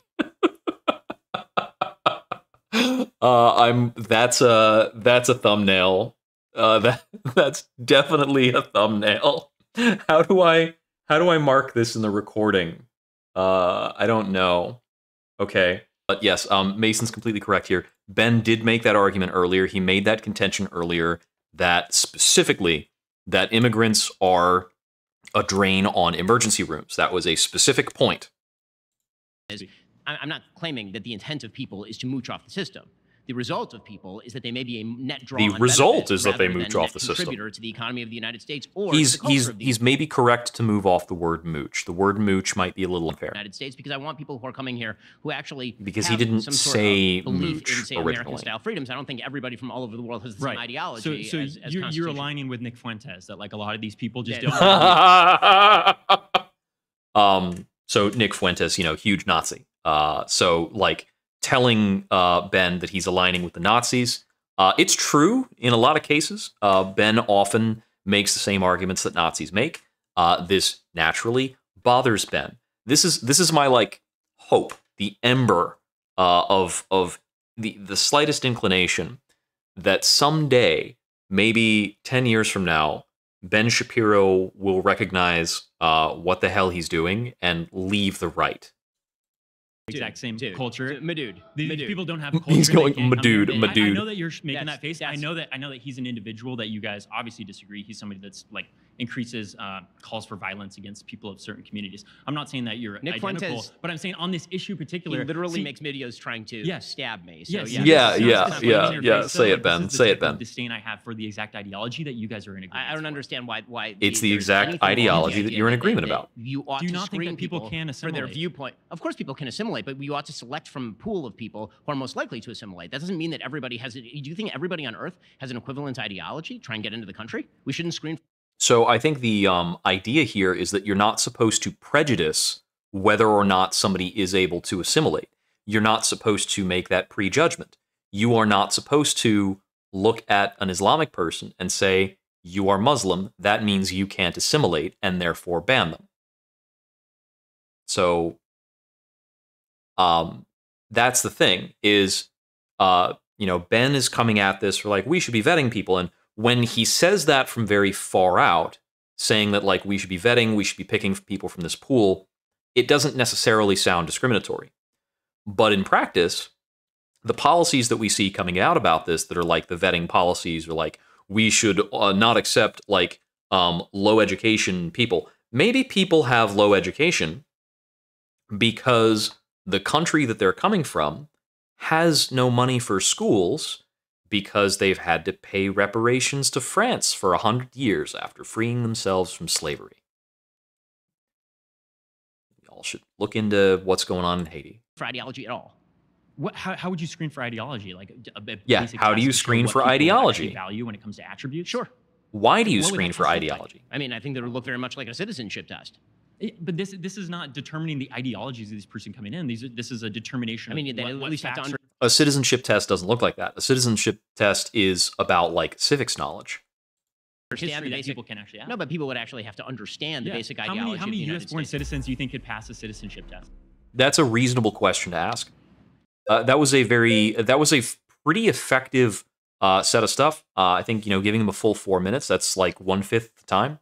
That's uh, probably pretty good. I doubt that there are more than five people in this circle of twenty who can make a better argument. Okay, uh, this guy, um, I recognize him. He was from the slice that I skipped at the very beginning of the video. Uh, so let's see how this goes. So, Kamala Harris supports the bipartisan border bill that was negotiated by conservative Senator Jen- James Lankford and supported by Mitch McConnell. Do you not support that bill? And do you I I do not support that bill. So, what is your solution then? I mean, my, my solution is that Uh, he did state his solution in the last thing. Um, it is good to bring up the bill um, because theoretically, that means that her border policies are the same as the right wing border policies, and that means that the right wing will turn America into an unsafe and bankrupt nation. Actually ought not be done in a comprehensive fashion. So I have, I have a general critique of the way that we Theoretically. deal with immigration in the country. Instead of trying to solve all problems at once, which is Ah. very likely to end in nothing, what we ought to first do is we ought to close you mean the border. solving all and then The border to- is closed right now. Do you agree? uh, the border is certainly not closed right what do now. you mean? There's a small trickle of people coming over. The numbers are similar to the end of the Trump administration, no? And, well, now because of executive order, they have been reduced significantly. But Do you not was agree that they're the same that number not as the end of the Trump administration? I, it, right now, Yes. This is is on good a monthly reread. basis, but Yes. that's after letting in six and a half million illegal immigrants. So do you think Trump was failing then at the end of his administration? I, th- I think that Donald Trump did a better job than Joe Biden. He certainly did not do a perfect job on illegal immigration. Ah, so Joe Biden is matching what Donald Trump is doing right now. So after you letting in Joe six, Biden? after letting in six and a half to 11 million illegal immigrants, Well, I don't think you get border- to fill in that gap those are border, by doing like four months of good border policy. Those are border encounters. We don't know how many of those people were turned away. We don't know how many of those people are still in this country. That's correct. But those people make up a significant portion of our labor force as well, including in So- states like yours, Florida, where they make up like 5%. So, so your argument is that it's it's not happening, and it's good that it is. It's not happening? What do you mean? That, that the illegal immigration pool is not very large, and also it's good that it is large. I'm saying you guys make up numbers all the time. It's like That 20, argument is not from 30. That's no, that, that's that's from the Wall Street Journal. I'm not I'm not making up that number. Well, Donald Trump said he wants to deport 20 million of these guys. What do you think of that? I mean, I, I think that if we were going to look at deportations, we Hmm. obviously ought to tranche that out based on Interesting. criminal record. We ought to tranche it out based on usefulness to the economy. I think Okay, that is not the Trump position. The Trump position is not uh, that we tranche this out and that we do that because we already deport, uh, you know, people with criminal records. we ought to look at each person individually and determine whether they ought to be deported or not. We already do that. That is probably going to lead to a small trickle of people being kicked out of here. So that's not going to accomplish your goal. Well, I mean, who said that my goal was to mass You. deport 20 million people all so at you once? want so you want 20 million undocumented immigrants to stay in America? No, I, I, no, that is not what I'm saying. I, I fail to see how you got from. I would like to go through one by one in the same way that we do IRS tax forms for literally every American who pays taxes in the United States. This go- guy is just pivoting from gotcha to gotcha, but this is probably a reasonable case to do so because I don't think Ben is actually making a coherent uh, point. He's not making a point that anybody can argue against. There's not like there's no principle to the argument that Ben is making because Ben is making the argument that uh, Kamala Harris's policies will be bad, but when you actually talk to him about what the policies are, he seems to want to do that, uh, do those same things. He says like we should deport people with criminal records. We do. Nobody's suggesting that we do anything otherwise. I don't think we should deport people with criminal records if they have a like if they've committed crimes. I think we should put them in jail, and once they've served their sentence, we should let them out of jail. I think that's just like I don't see a reason to treat somebody differently in terms of our criminal justice system because they are or aren't a citizen. Just do the same thing you do for a citizen. Uh, if if jail if prison if prison is properly corrective, if I know it's not, but if if prison was properly corrective, if it's a you know fine punishment for the sentence, why is deportation necessary additionally? I don't get it. Um, especially since immigrants commit less crime.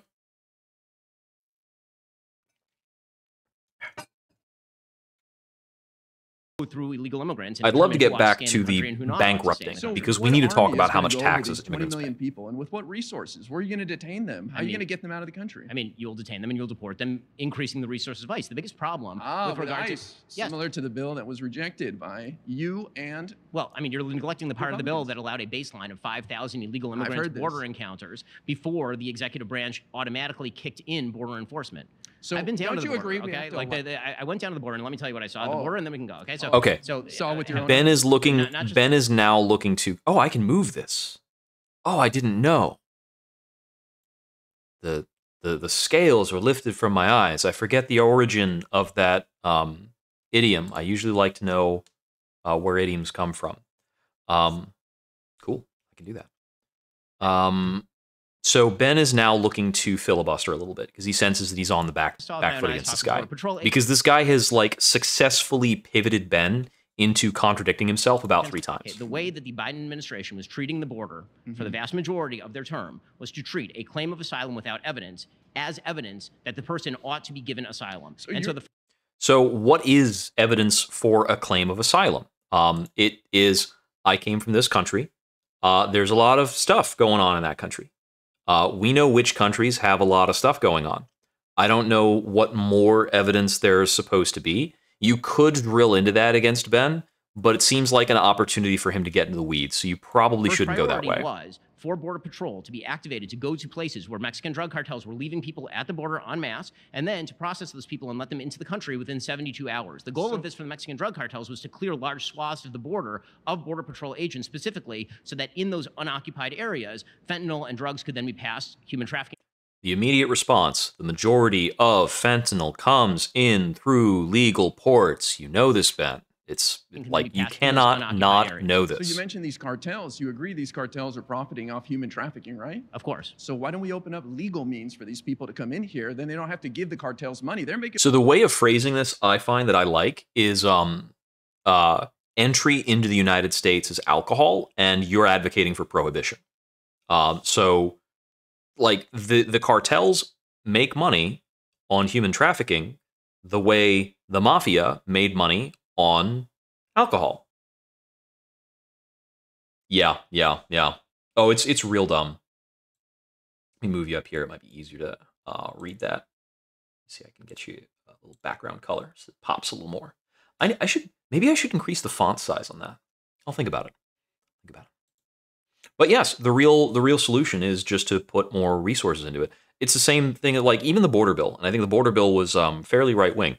Um, part of the border bill was get more resources in and more judges in so that we can speed up the processing more of money off human trafficking right now because of our our immigration system They'd doesn't allow more people, and the Republicans do not have a bill to allow more people to come here legally. I mean, so so your answer to illegal immigration is just magically legalize everyone. No, it's to open up legal paths so these people don't have to leave know, their livelihood in these countries and carry a bag and walk through the jungle with their kids. By the logic that you're using, we could make we could make murder absolutely not a thing by simply.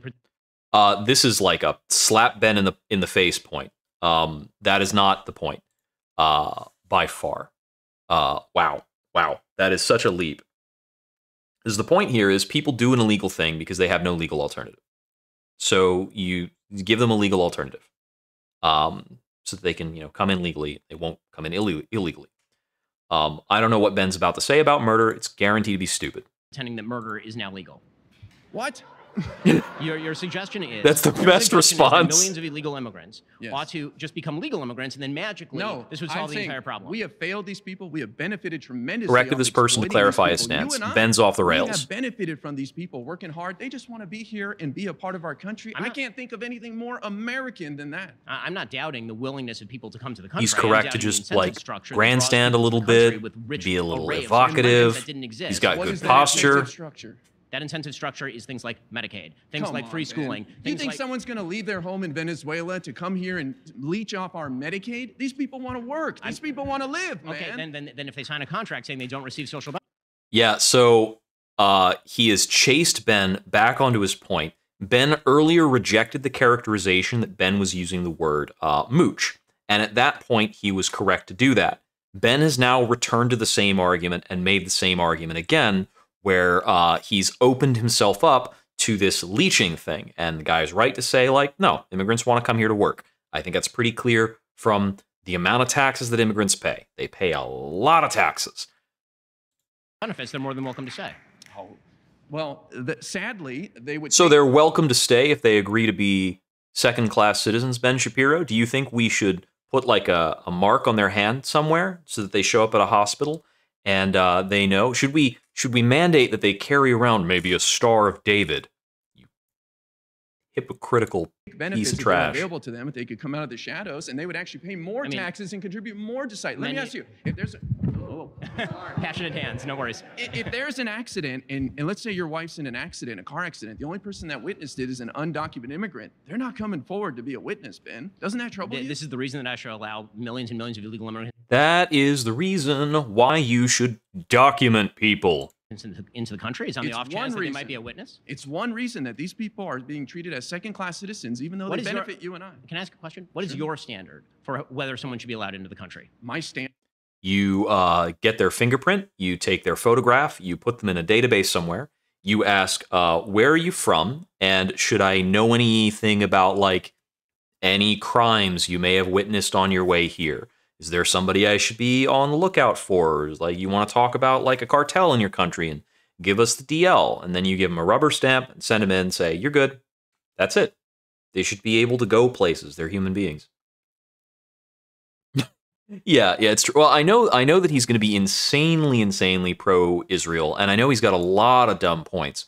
But once again, I do think that Ben Shapiro mostly cares about whether or not he's correct, and I think he mostly believes what he says, unlike everybody else on the right. What do you mean So by standard? Like as far I think I can be legitimately angry. I have some expectations for policy, Ben Shapiro to keep up a minimum level of quality. He's not Matt Walsh. He's not. not Uh, everybody starts out as a he's not um Some so- people uh, Dennis Prager. So, so everyone. So, so you have no limit. How about numbers? Do you have any there's number limit? No, no numerical limit. 20,000 people die or retire in this country a day. There's only 10,000 births. We need more people. I agree. That's why we should all have more babies. So, okay, well, guess what? People aren't going to have them because you're not incentivizing it. Kamala Harris is with her things like $6,000 child tax credit. Giving Meanwhile, people- you guys are just trying to That's a good pivot. make it That is strong.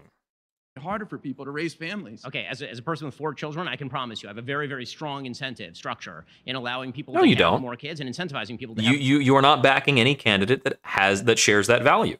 more kids. I wish that government benefits were more effective in Did you say this. you wish? simply have not been in particular areas of Europe. This This guy is argument that the illegal good. Immigration argument. When we're talking about illegal immigration, you, you seem to be making an argument there ought to be no baseline standard for who gets in and no baseline cap I'm for how many people get in. I'm not saying that. So we please, can can you- come up with a figure. We So can do come it. up with numbers. So now- I'm not a lawmaker. That's what we elect people to go do and work so- out those okay, I figures. need- I but need something- Republicans are just fighting everything. Uh, I, I- I need some standard. You need me to come up for- with a number. No. Let's say 10,000. okay, a number or a character. Maybe 5,000. Or some some sort of standard for who you I think I think country. Because right 5,000 was the number in the want lots um, of Biden standard. To come into the country without any standard. Let's say cap on them. 5,000 a day. Not at all. I want people to come here who want to work, who want to be a part of this country, and we all benefit from that. Okay, do you so- think you're not benefiting so from you- these so you- undocu- undocumented people? Who So do you think is going to do you- build the do think- houses that we need So with do- our do shortage? So do you think the people who come into the You have a country housing should be eligible for all social benefits?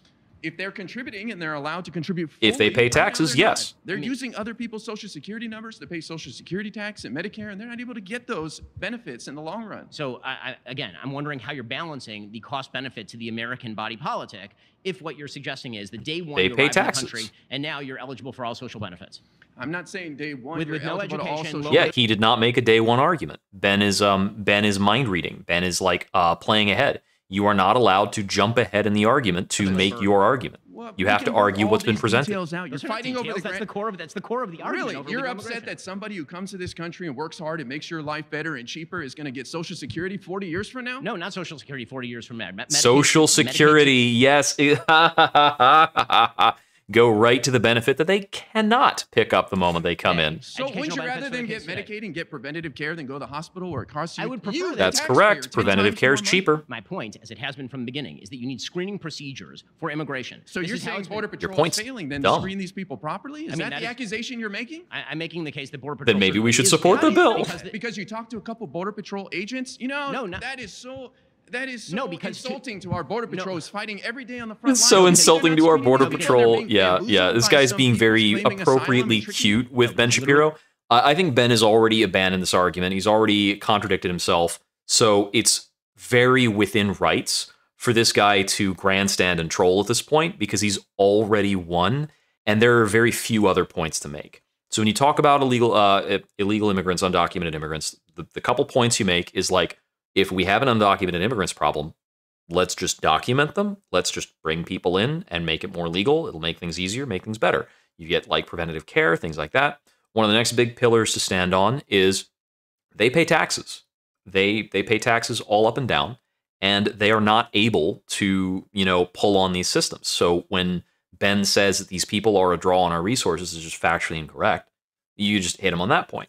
And then, of course, the third thing to stand on is they actually commit less crime. That's the only thing we haven't brought up. But Ben has not gotten to the argument about immigrants um, committing crimes because he's been cornered on these points so quickly. Um, ben has been so thoroughly countered and thrashed here. Today, He's the got FBI nothing to work with. An Afghan national was let in without vetting and tried to plan a terrorist attack on One election guy. day. Oh, it's just one. So One guy's correct. You know how many terrorists no were caught by the, the border under Trump? There are over three. Zero. There are over three. At least we're catching them. There are over. there, there are over. At least we're catching them. But yeah, um, you know, uh, I've heard that uh, there are some white guy terrorists out there who, uh, you know, shoot up nightclubs and stuff. I think we should ban all the white guys. I think we should just get rid of them. Um, that will that will prevent crime. That is a cogent, There intelligent three- position. First of all, first of all, it's not true because a huge number of people we don't know who they are are coming across the border between ports of entry.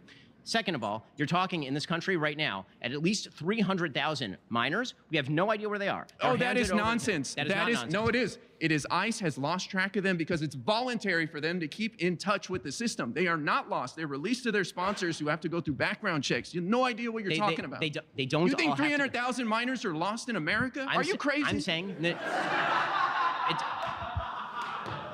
Oh man, I'm that's not got to be that. The that's Department- got to be a psychological hit for a room of 20 people surrounding Ben to openly laugh at him. Next thing you're going to tell me there's 19,000 murderers, right? Is that the next talking point? No, that is not the next talking Oh, point. okay. The- the- but uh, Because the guy's ready for it. The guy knows the stats and he's ready for Ben to say this.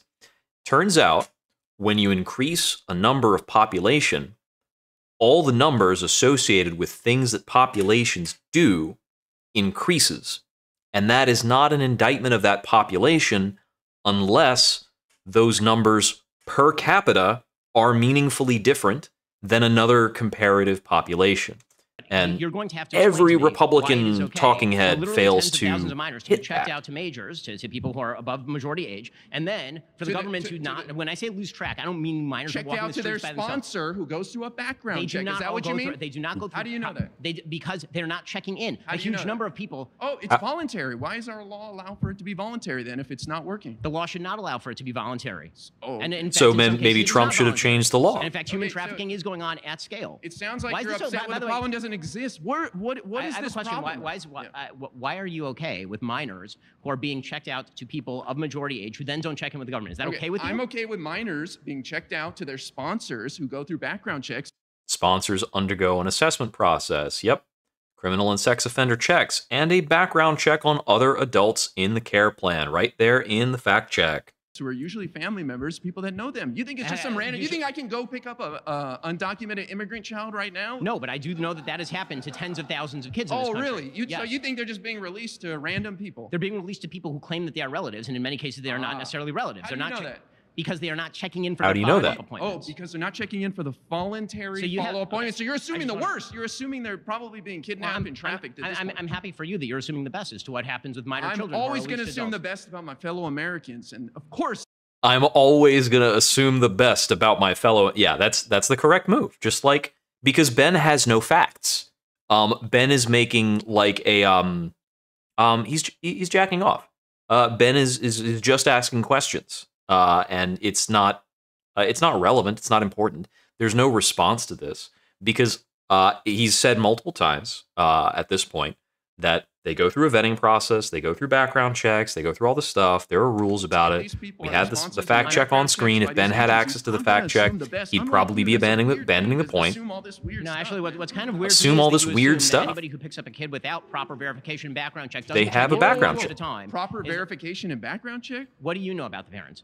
What do you know about people who are picking them up? I've What read, do you know about the cousins? What do you know I've about the read that these people go through background checks and they are sponsors, solid do you usually fa- family members. You don't sound like you aren't read we- anything about this. I- you I- just have some fantasy you made up about me being able to go pick up an undocumented cri- uh, child. Why don't you and I go try? You haven't read anything about this. You've got a fantasy. Later, we'll see what happens. I have a question. Where I have a question. Where are you possibly coming up with that? Since I've actually said the opposite. You, you want me to name the article? You can go Google it yourself. Maybe Yeah, you'll learn something. Which article specifically are you talking about? Man, when you get home, go on Google Why don't you and type Google? in how are ch- undocumented migrants children released and what is the process. You'll be, you'll read all about it. I, I can read all about it, and one of the things that I've read is that the uh, is that the the This is immigration services in this crazy. have Oh, man. proper follow-up Well, you read it on hundreds Gate- you read it on Gateway Pundit or No, what? on Wall Street Journal, at the Department of Justice, in all in all of the legal claims me- by the federal government. Yes, these th- this is in the New York Times. Okay. It's it, it's not it's not. You're I don't- completely again, I just out want to there. make sure we're on the same page. 300,000 children Do are not being have prob- exploited in America right I- now. That is not the claim. Okay, the, so the- what the is claim, claim? is that the federal government does not know where they are. Oh, that is the claim, and that is and that is absolutely valid. Do you know where they are? Do you think the federal government knows the where all of them federal are? government should be I have a question. Why is it? Why, why, I think This the is a good pivot. This is a good pivot. Do you think the federal government should be tracking everybody? Do you think the federal government should have a database of people? Uh, for instance, do you think the government? Do you think the federal government should track gun purchases everywhere in the United States? That'd be pretty uh, has a messed up. responsibility to release children who come across the border only to people for whom there How long are how long are they supposed to check in on them? How long is the government supposed to track these people? Is the government supposed to track these people for uh, ten years? Is the government supposed to track these people until they're eighteen?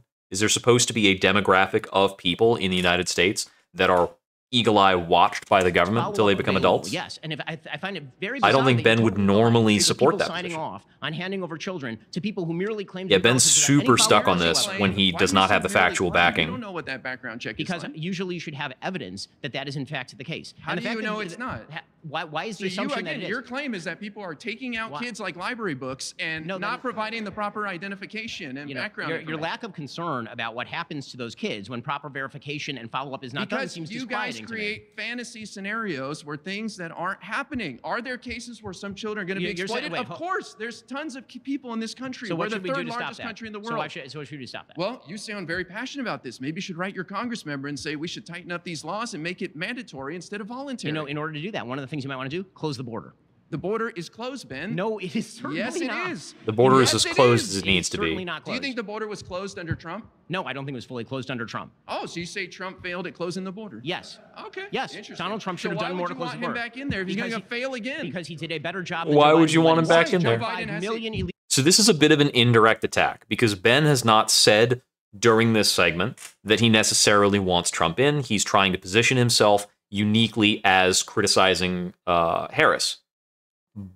But it's a fair attack. I mean, I mean, Ben definitely wants Trump in. Ben has said earlier in the discussion that he thinks it was good that Trump was elected. Uh, he, you know, it's it's it's like oblique. It's a little unfair if if we if we were talking to an ordinary person uh, who doesn't have their own platform and they're like super well documented series of positions. This would be a bit of dirty pool, but we're not. We're talking to Ben Shapiro. He's a little evil. Joe Biden has the exact same. So you can be a little nasty. right now as Trump at the end of his administration. I have a question. If Trump was on pace to let in 900,000, if that was the case, a year. I I have a question for you. Sure. Why is it that after a president allows in, through pure executive order negligence, having walked back the executive orders that created the policies that you're now praying, Negligence, I mean, if you want to call it purposeful, call it purposeful. They were on day one. They reneged on remain in Mexico. They they changed the standards by which asylum was claimed. Mexico's got to play. It takes two to is- tango. Mexico didn't want anything to do with remain in Mexico. remain in Mexico was the American. January 19, uh, Trump launched Remain in Mexico, requiring asylum seekers, blah, blah, blah, blah, blah. Yeah, Remain in Mexico is was Joe Biden bad. walked out on remain in Mexico. There's The also a is- small number of people. It's like a couple tens of It- it thousands of it- people. couple tens of thousands of people.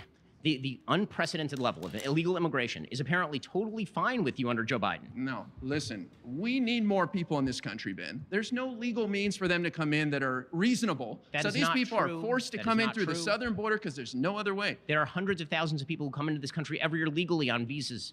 Yes, and that Every year, hundreds of thousands. The earlier statistics that both of you discussed admit, like both of you agreed that there is a 10,000 person per day shortfall in like births, deaths. So hundreds of thousands per year is implying like a couple of people per day.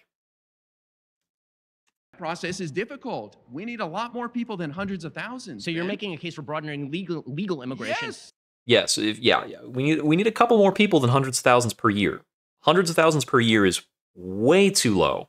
But you are not setting any standard or numbers by which we are supposed to adjudicate whether this is that's good or bad. That's not my job. All I know is it's too difficult So right you're not now. making an argument at all. You're making an argument that basically He's we clearly made an argument. everybody He's made an argument come you can't reply to. no, no. You have I'm not- fine with the hold number. on. You have not come said up you with have not set a number. number. You have not set a standard. You have suggested you're utterly fine. We should have a number. to minors if Closing the border, zero is the wrong number. You have not, sugge- you have not, you have suggested that there is no major problem with exploitation of children being trafficked over the border.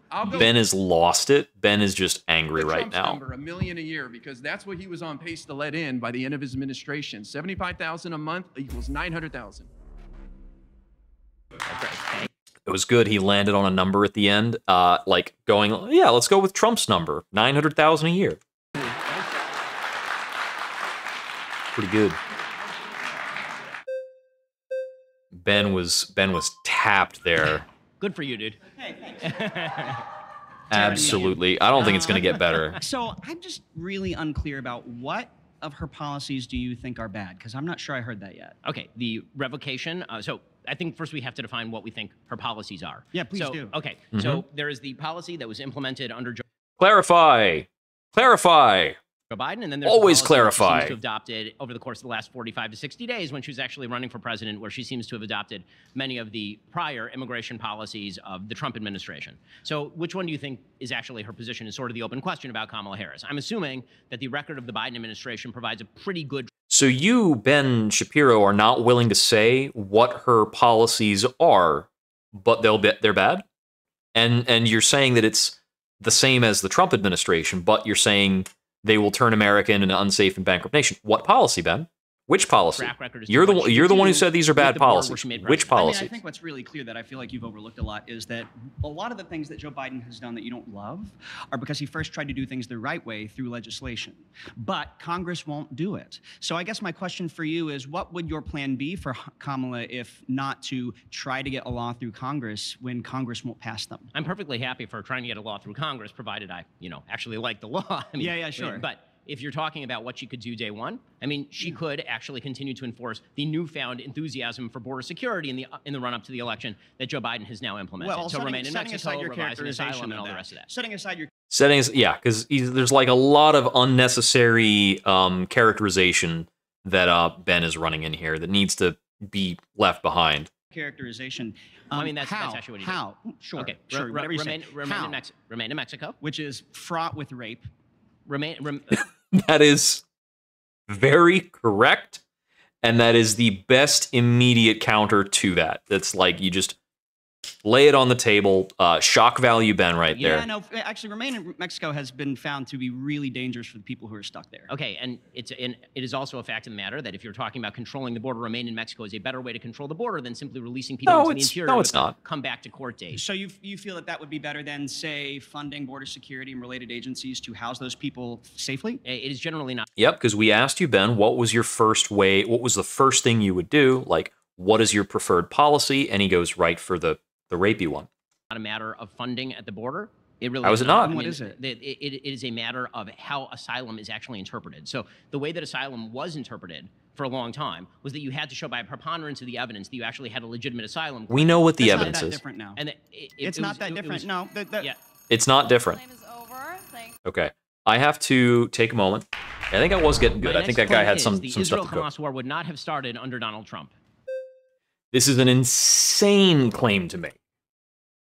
Absolutely insane claim. Is like, what was Trump even doing under Hamas? Is the is the is the idea here that there would be some kind of intimidation factor? I don't I don't get it. Okay, I, I realized I want more coffee. One sec. Okay, coffee is coffee's been acquired. Uh, but yes, I think this is an insane position to try and argue or defend. Um, you, you have to like argue future sight. It's insane. Oh yeah, everybody loves Donald Trump, of course, naturally.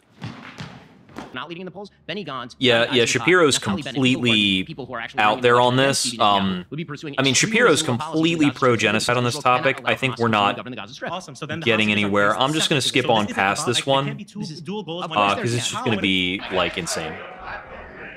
I choose Tyler. Oh, oh, okay. So this is a topic that's brought up by one of the 20 people in the room. Okay, so this is going to be a lot more interesting. Yeah, I'm just gonna just gonna cut forward past the um the Israeli genocide stuff. behind me the 'cause, whole Yeah, time. Ben I feel bad for the Shapiro's. He- he's really fully wanted to talk, so let's have- fully let's have a cooked brain on that. My claim is that Donald Trump did not commit to a peaceful transfer of power. Uh, let's uh, slow this back down to uh, regular speed. Yeah, Donald Trump did not commit to a peaceful transfer of power. Okay, so yeah, I think it's simple. I think Trump uh, helped. Let's see uh, how he sets the basis for this. uh, a fake elector scheme to override the um, Fake election. elector scheme to override the To have Mike election. Pence not certify the election, and then Oh, I allowed uh, violence. okay, it came back. There we go. Whoops.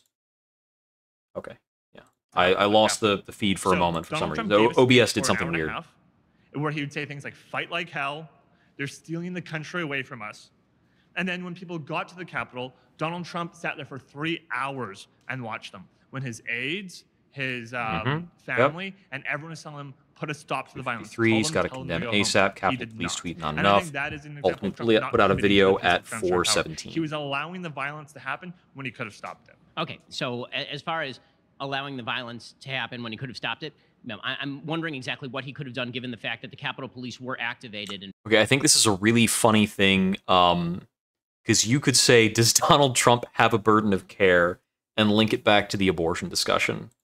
fact, pretty quickly uh, in the middle of, of that debacle. As, as, far as not committing to the peaceful transfer of power, do we mean verbally or or in action? So I agree in action. verbally. He never suggested that I am going to leave. And then he did. So yeah. you know, uh, so I'm not sure actually how much we disagree on this matter. I thought that January 6th was terrible. I, just, I, I thought that his behavior between the so the the the point of this or the assertion of this is Donald Trump was a driver of January 6th.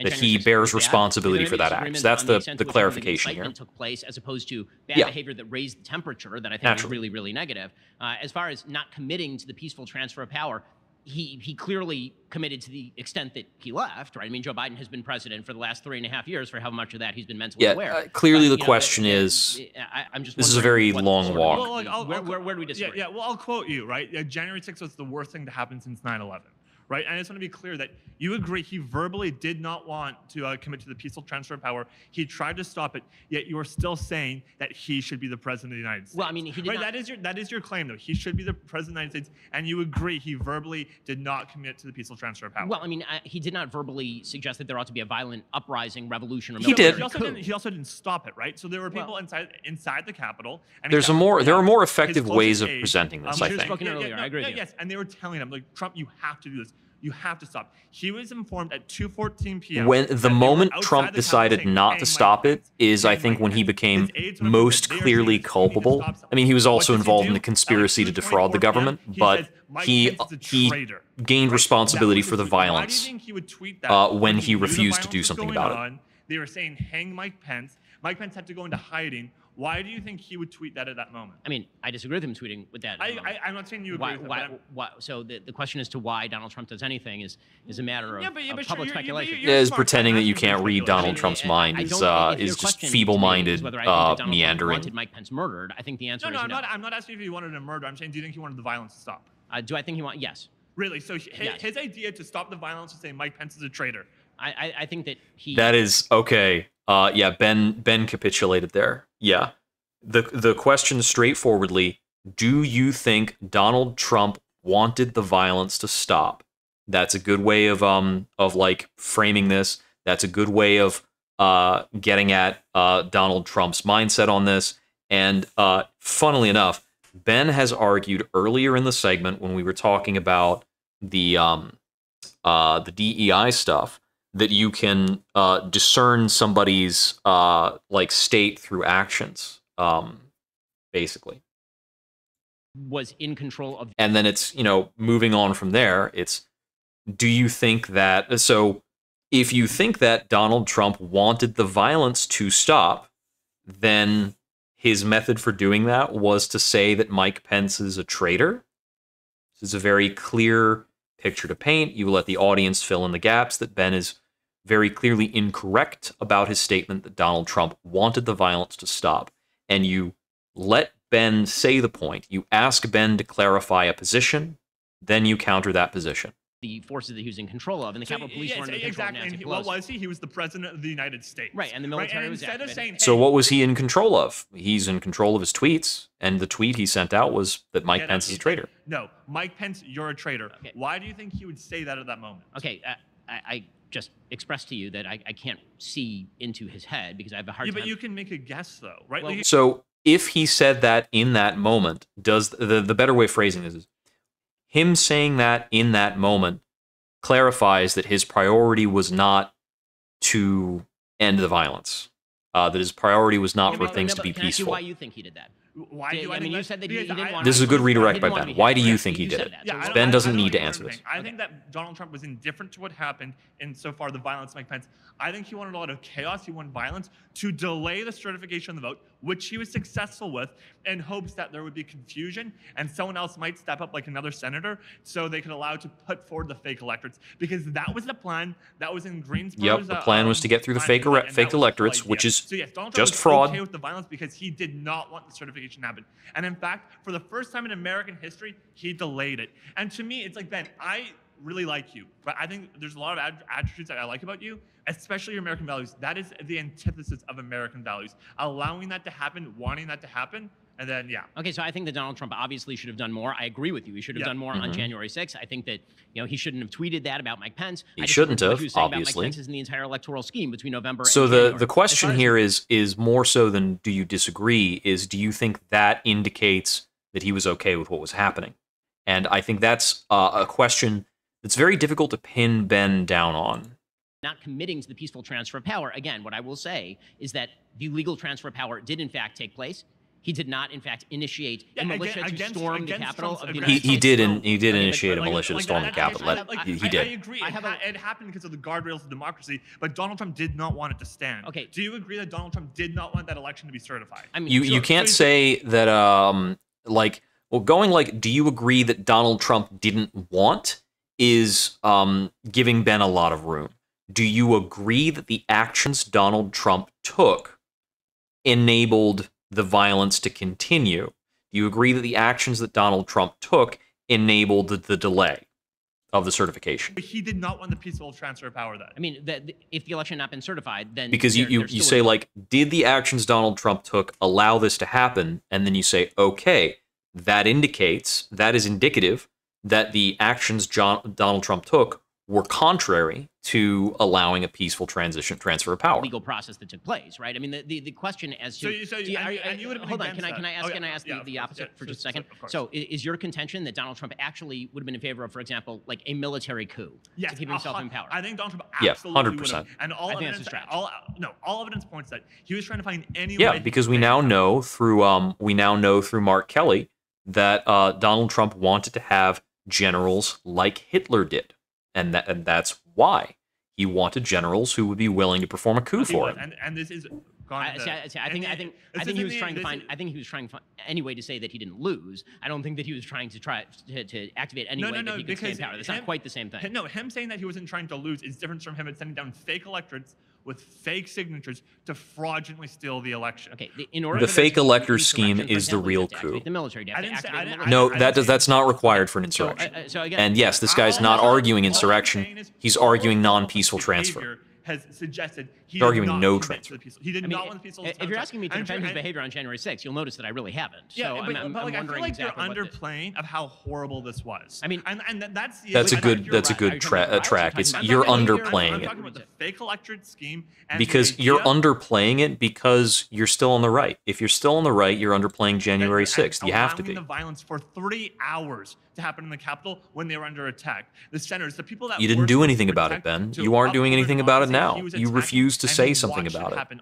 You're not condemning Donald Trump. You feel as though what Donald Trump did on January 6th is not disqualifying. Yes, because that is a little funny. Okay. Well, I mean, uh, Donald Trump is Donald Trump um, is on the way out either way because he's he's old. He can't think. So it's it's all a setup for Pence, uh, not Pence. It's all a setup for Vance anyway. The stakes are. Yes. This man will would want to do it again. Okay, so Jay, let me no, ask no, about Jay, that. Can I ask about that? Can, can you quickly say one Vance is worse than uh, Trump because he knows how to shut his mouth. It's more dangerous. Okay, so let me ask you this. You said that he'd want to do it again. Can I ask you how? I mean, he could do like the exact same scheme with fake electors. He could do the sole, yeah. he could do the same thing. Like, yeah, I'm not certifying the election. What do you mean? I mean, all Mike Pence had to do was not. No, no, no, no. But practically speaking, Yes. he is currently not in office. Correct? He's not. Well, So you agree that if he was in president. office, Yeah, he so- would yeah, subvert if the he's not election? president, he can't do it. Correct. Which is why I don't think anyone And should then- vote for Donald so, Trump. So, so wait. You, so I have a question. Do you do you believe? And this is really the question because if you're talking about he's going to do it again, the only opportunity that he'd have to do it again, presumably, would be if he won and then he were running for say a third term. No, I And you would like to let him do that. disagree. I think he can do it for someone else. He might do it for another candidate that he likes that'll uphold the MAGA values.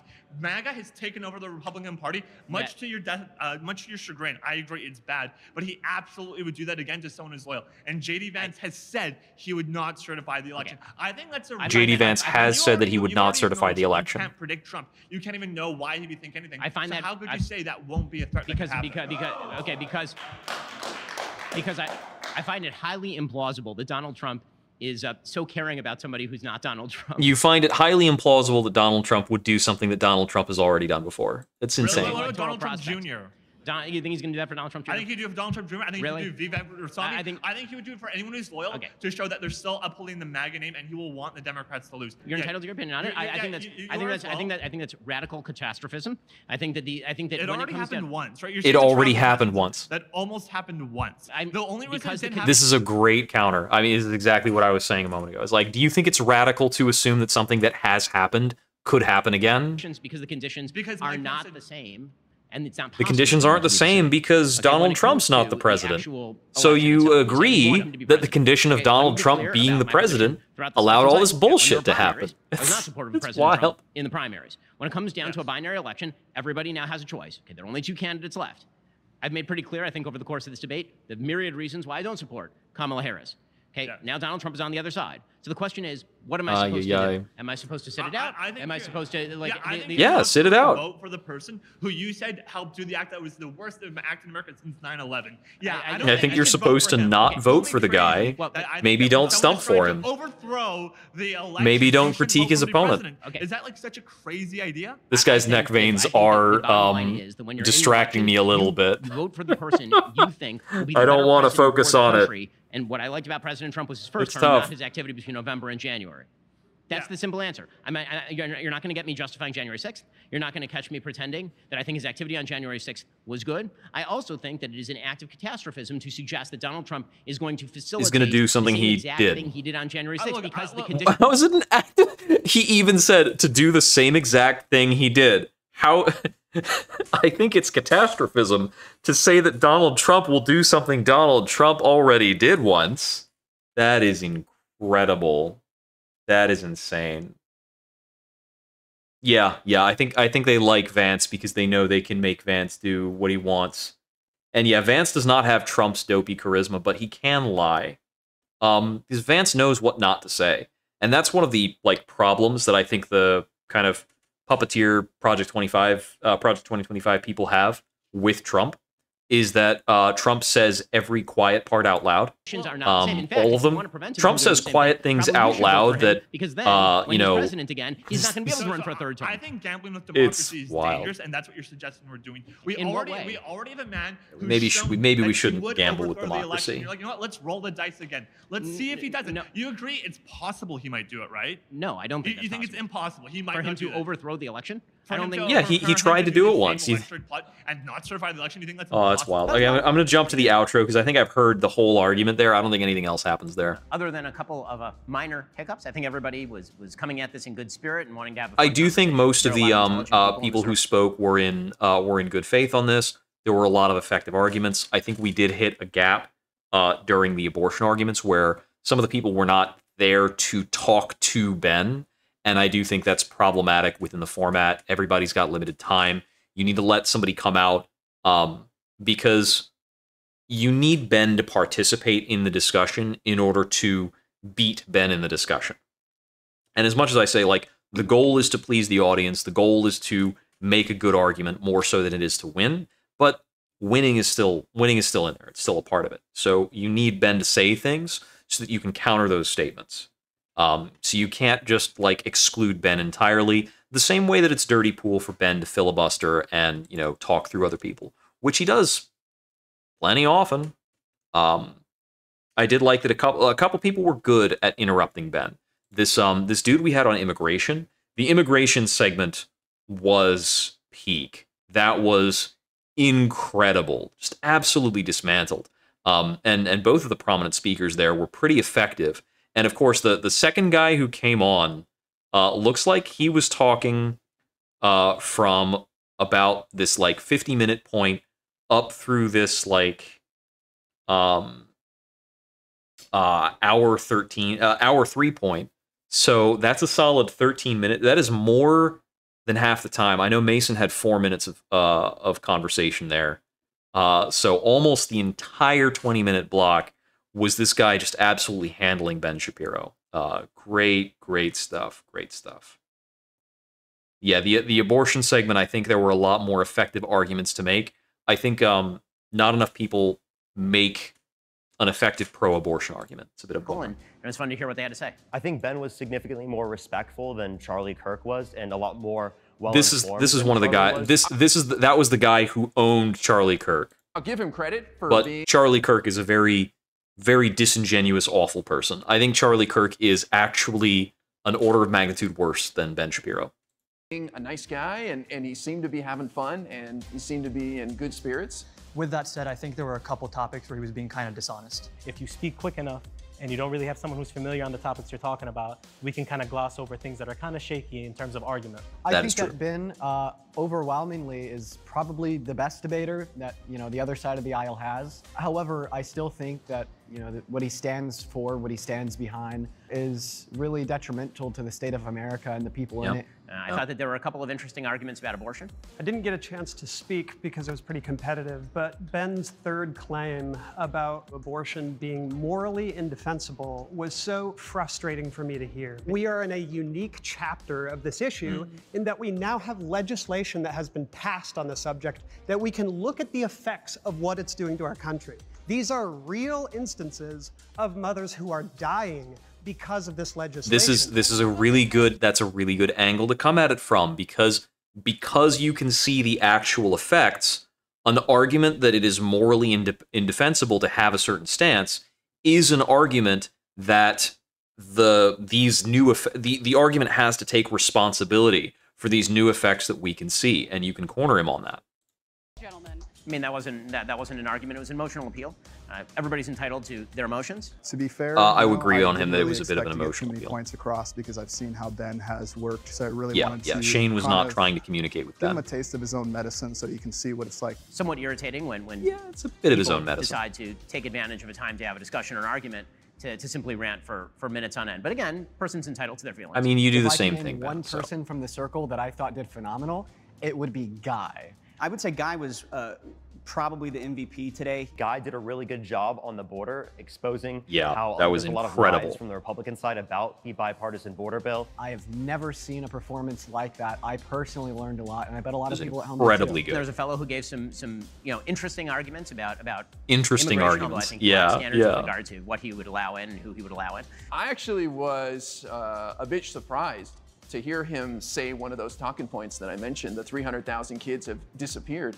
I thought he was a little above that, to be honest. Yeah, I think I thought he was above that. Oh, that's oh. it is indefensible and it's anti-democratic and anti-American values. And it's the one weakness I think Ben Shapiro knows he has. Most of the reason that people are supporting Kamala Harris has almost nothing to do with Kamala Harris and simply to do with, with animus for, for Donald Trump on a personal level. I am proudly. Oh, is it on a is it on a personal level that he he he wants to destroy democracy and be Hitler? Is that personal? I don't think that's personal. I think it's a no-brainer. Personal is like if he if he insulted my mother. It's not what he's done. He- to make sure that the guy Trying to- who trying to destroy the country, interest in uh, maintaining our democracy gets back in the White House. Kamala Harris has a better economic plan, better border plan, pretty much Okay, across the board. I think she's a better candidate. If Donald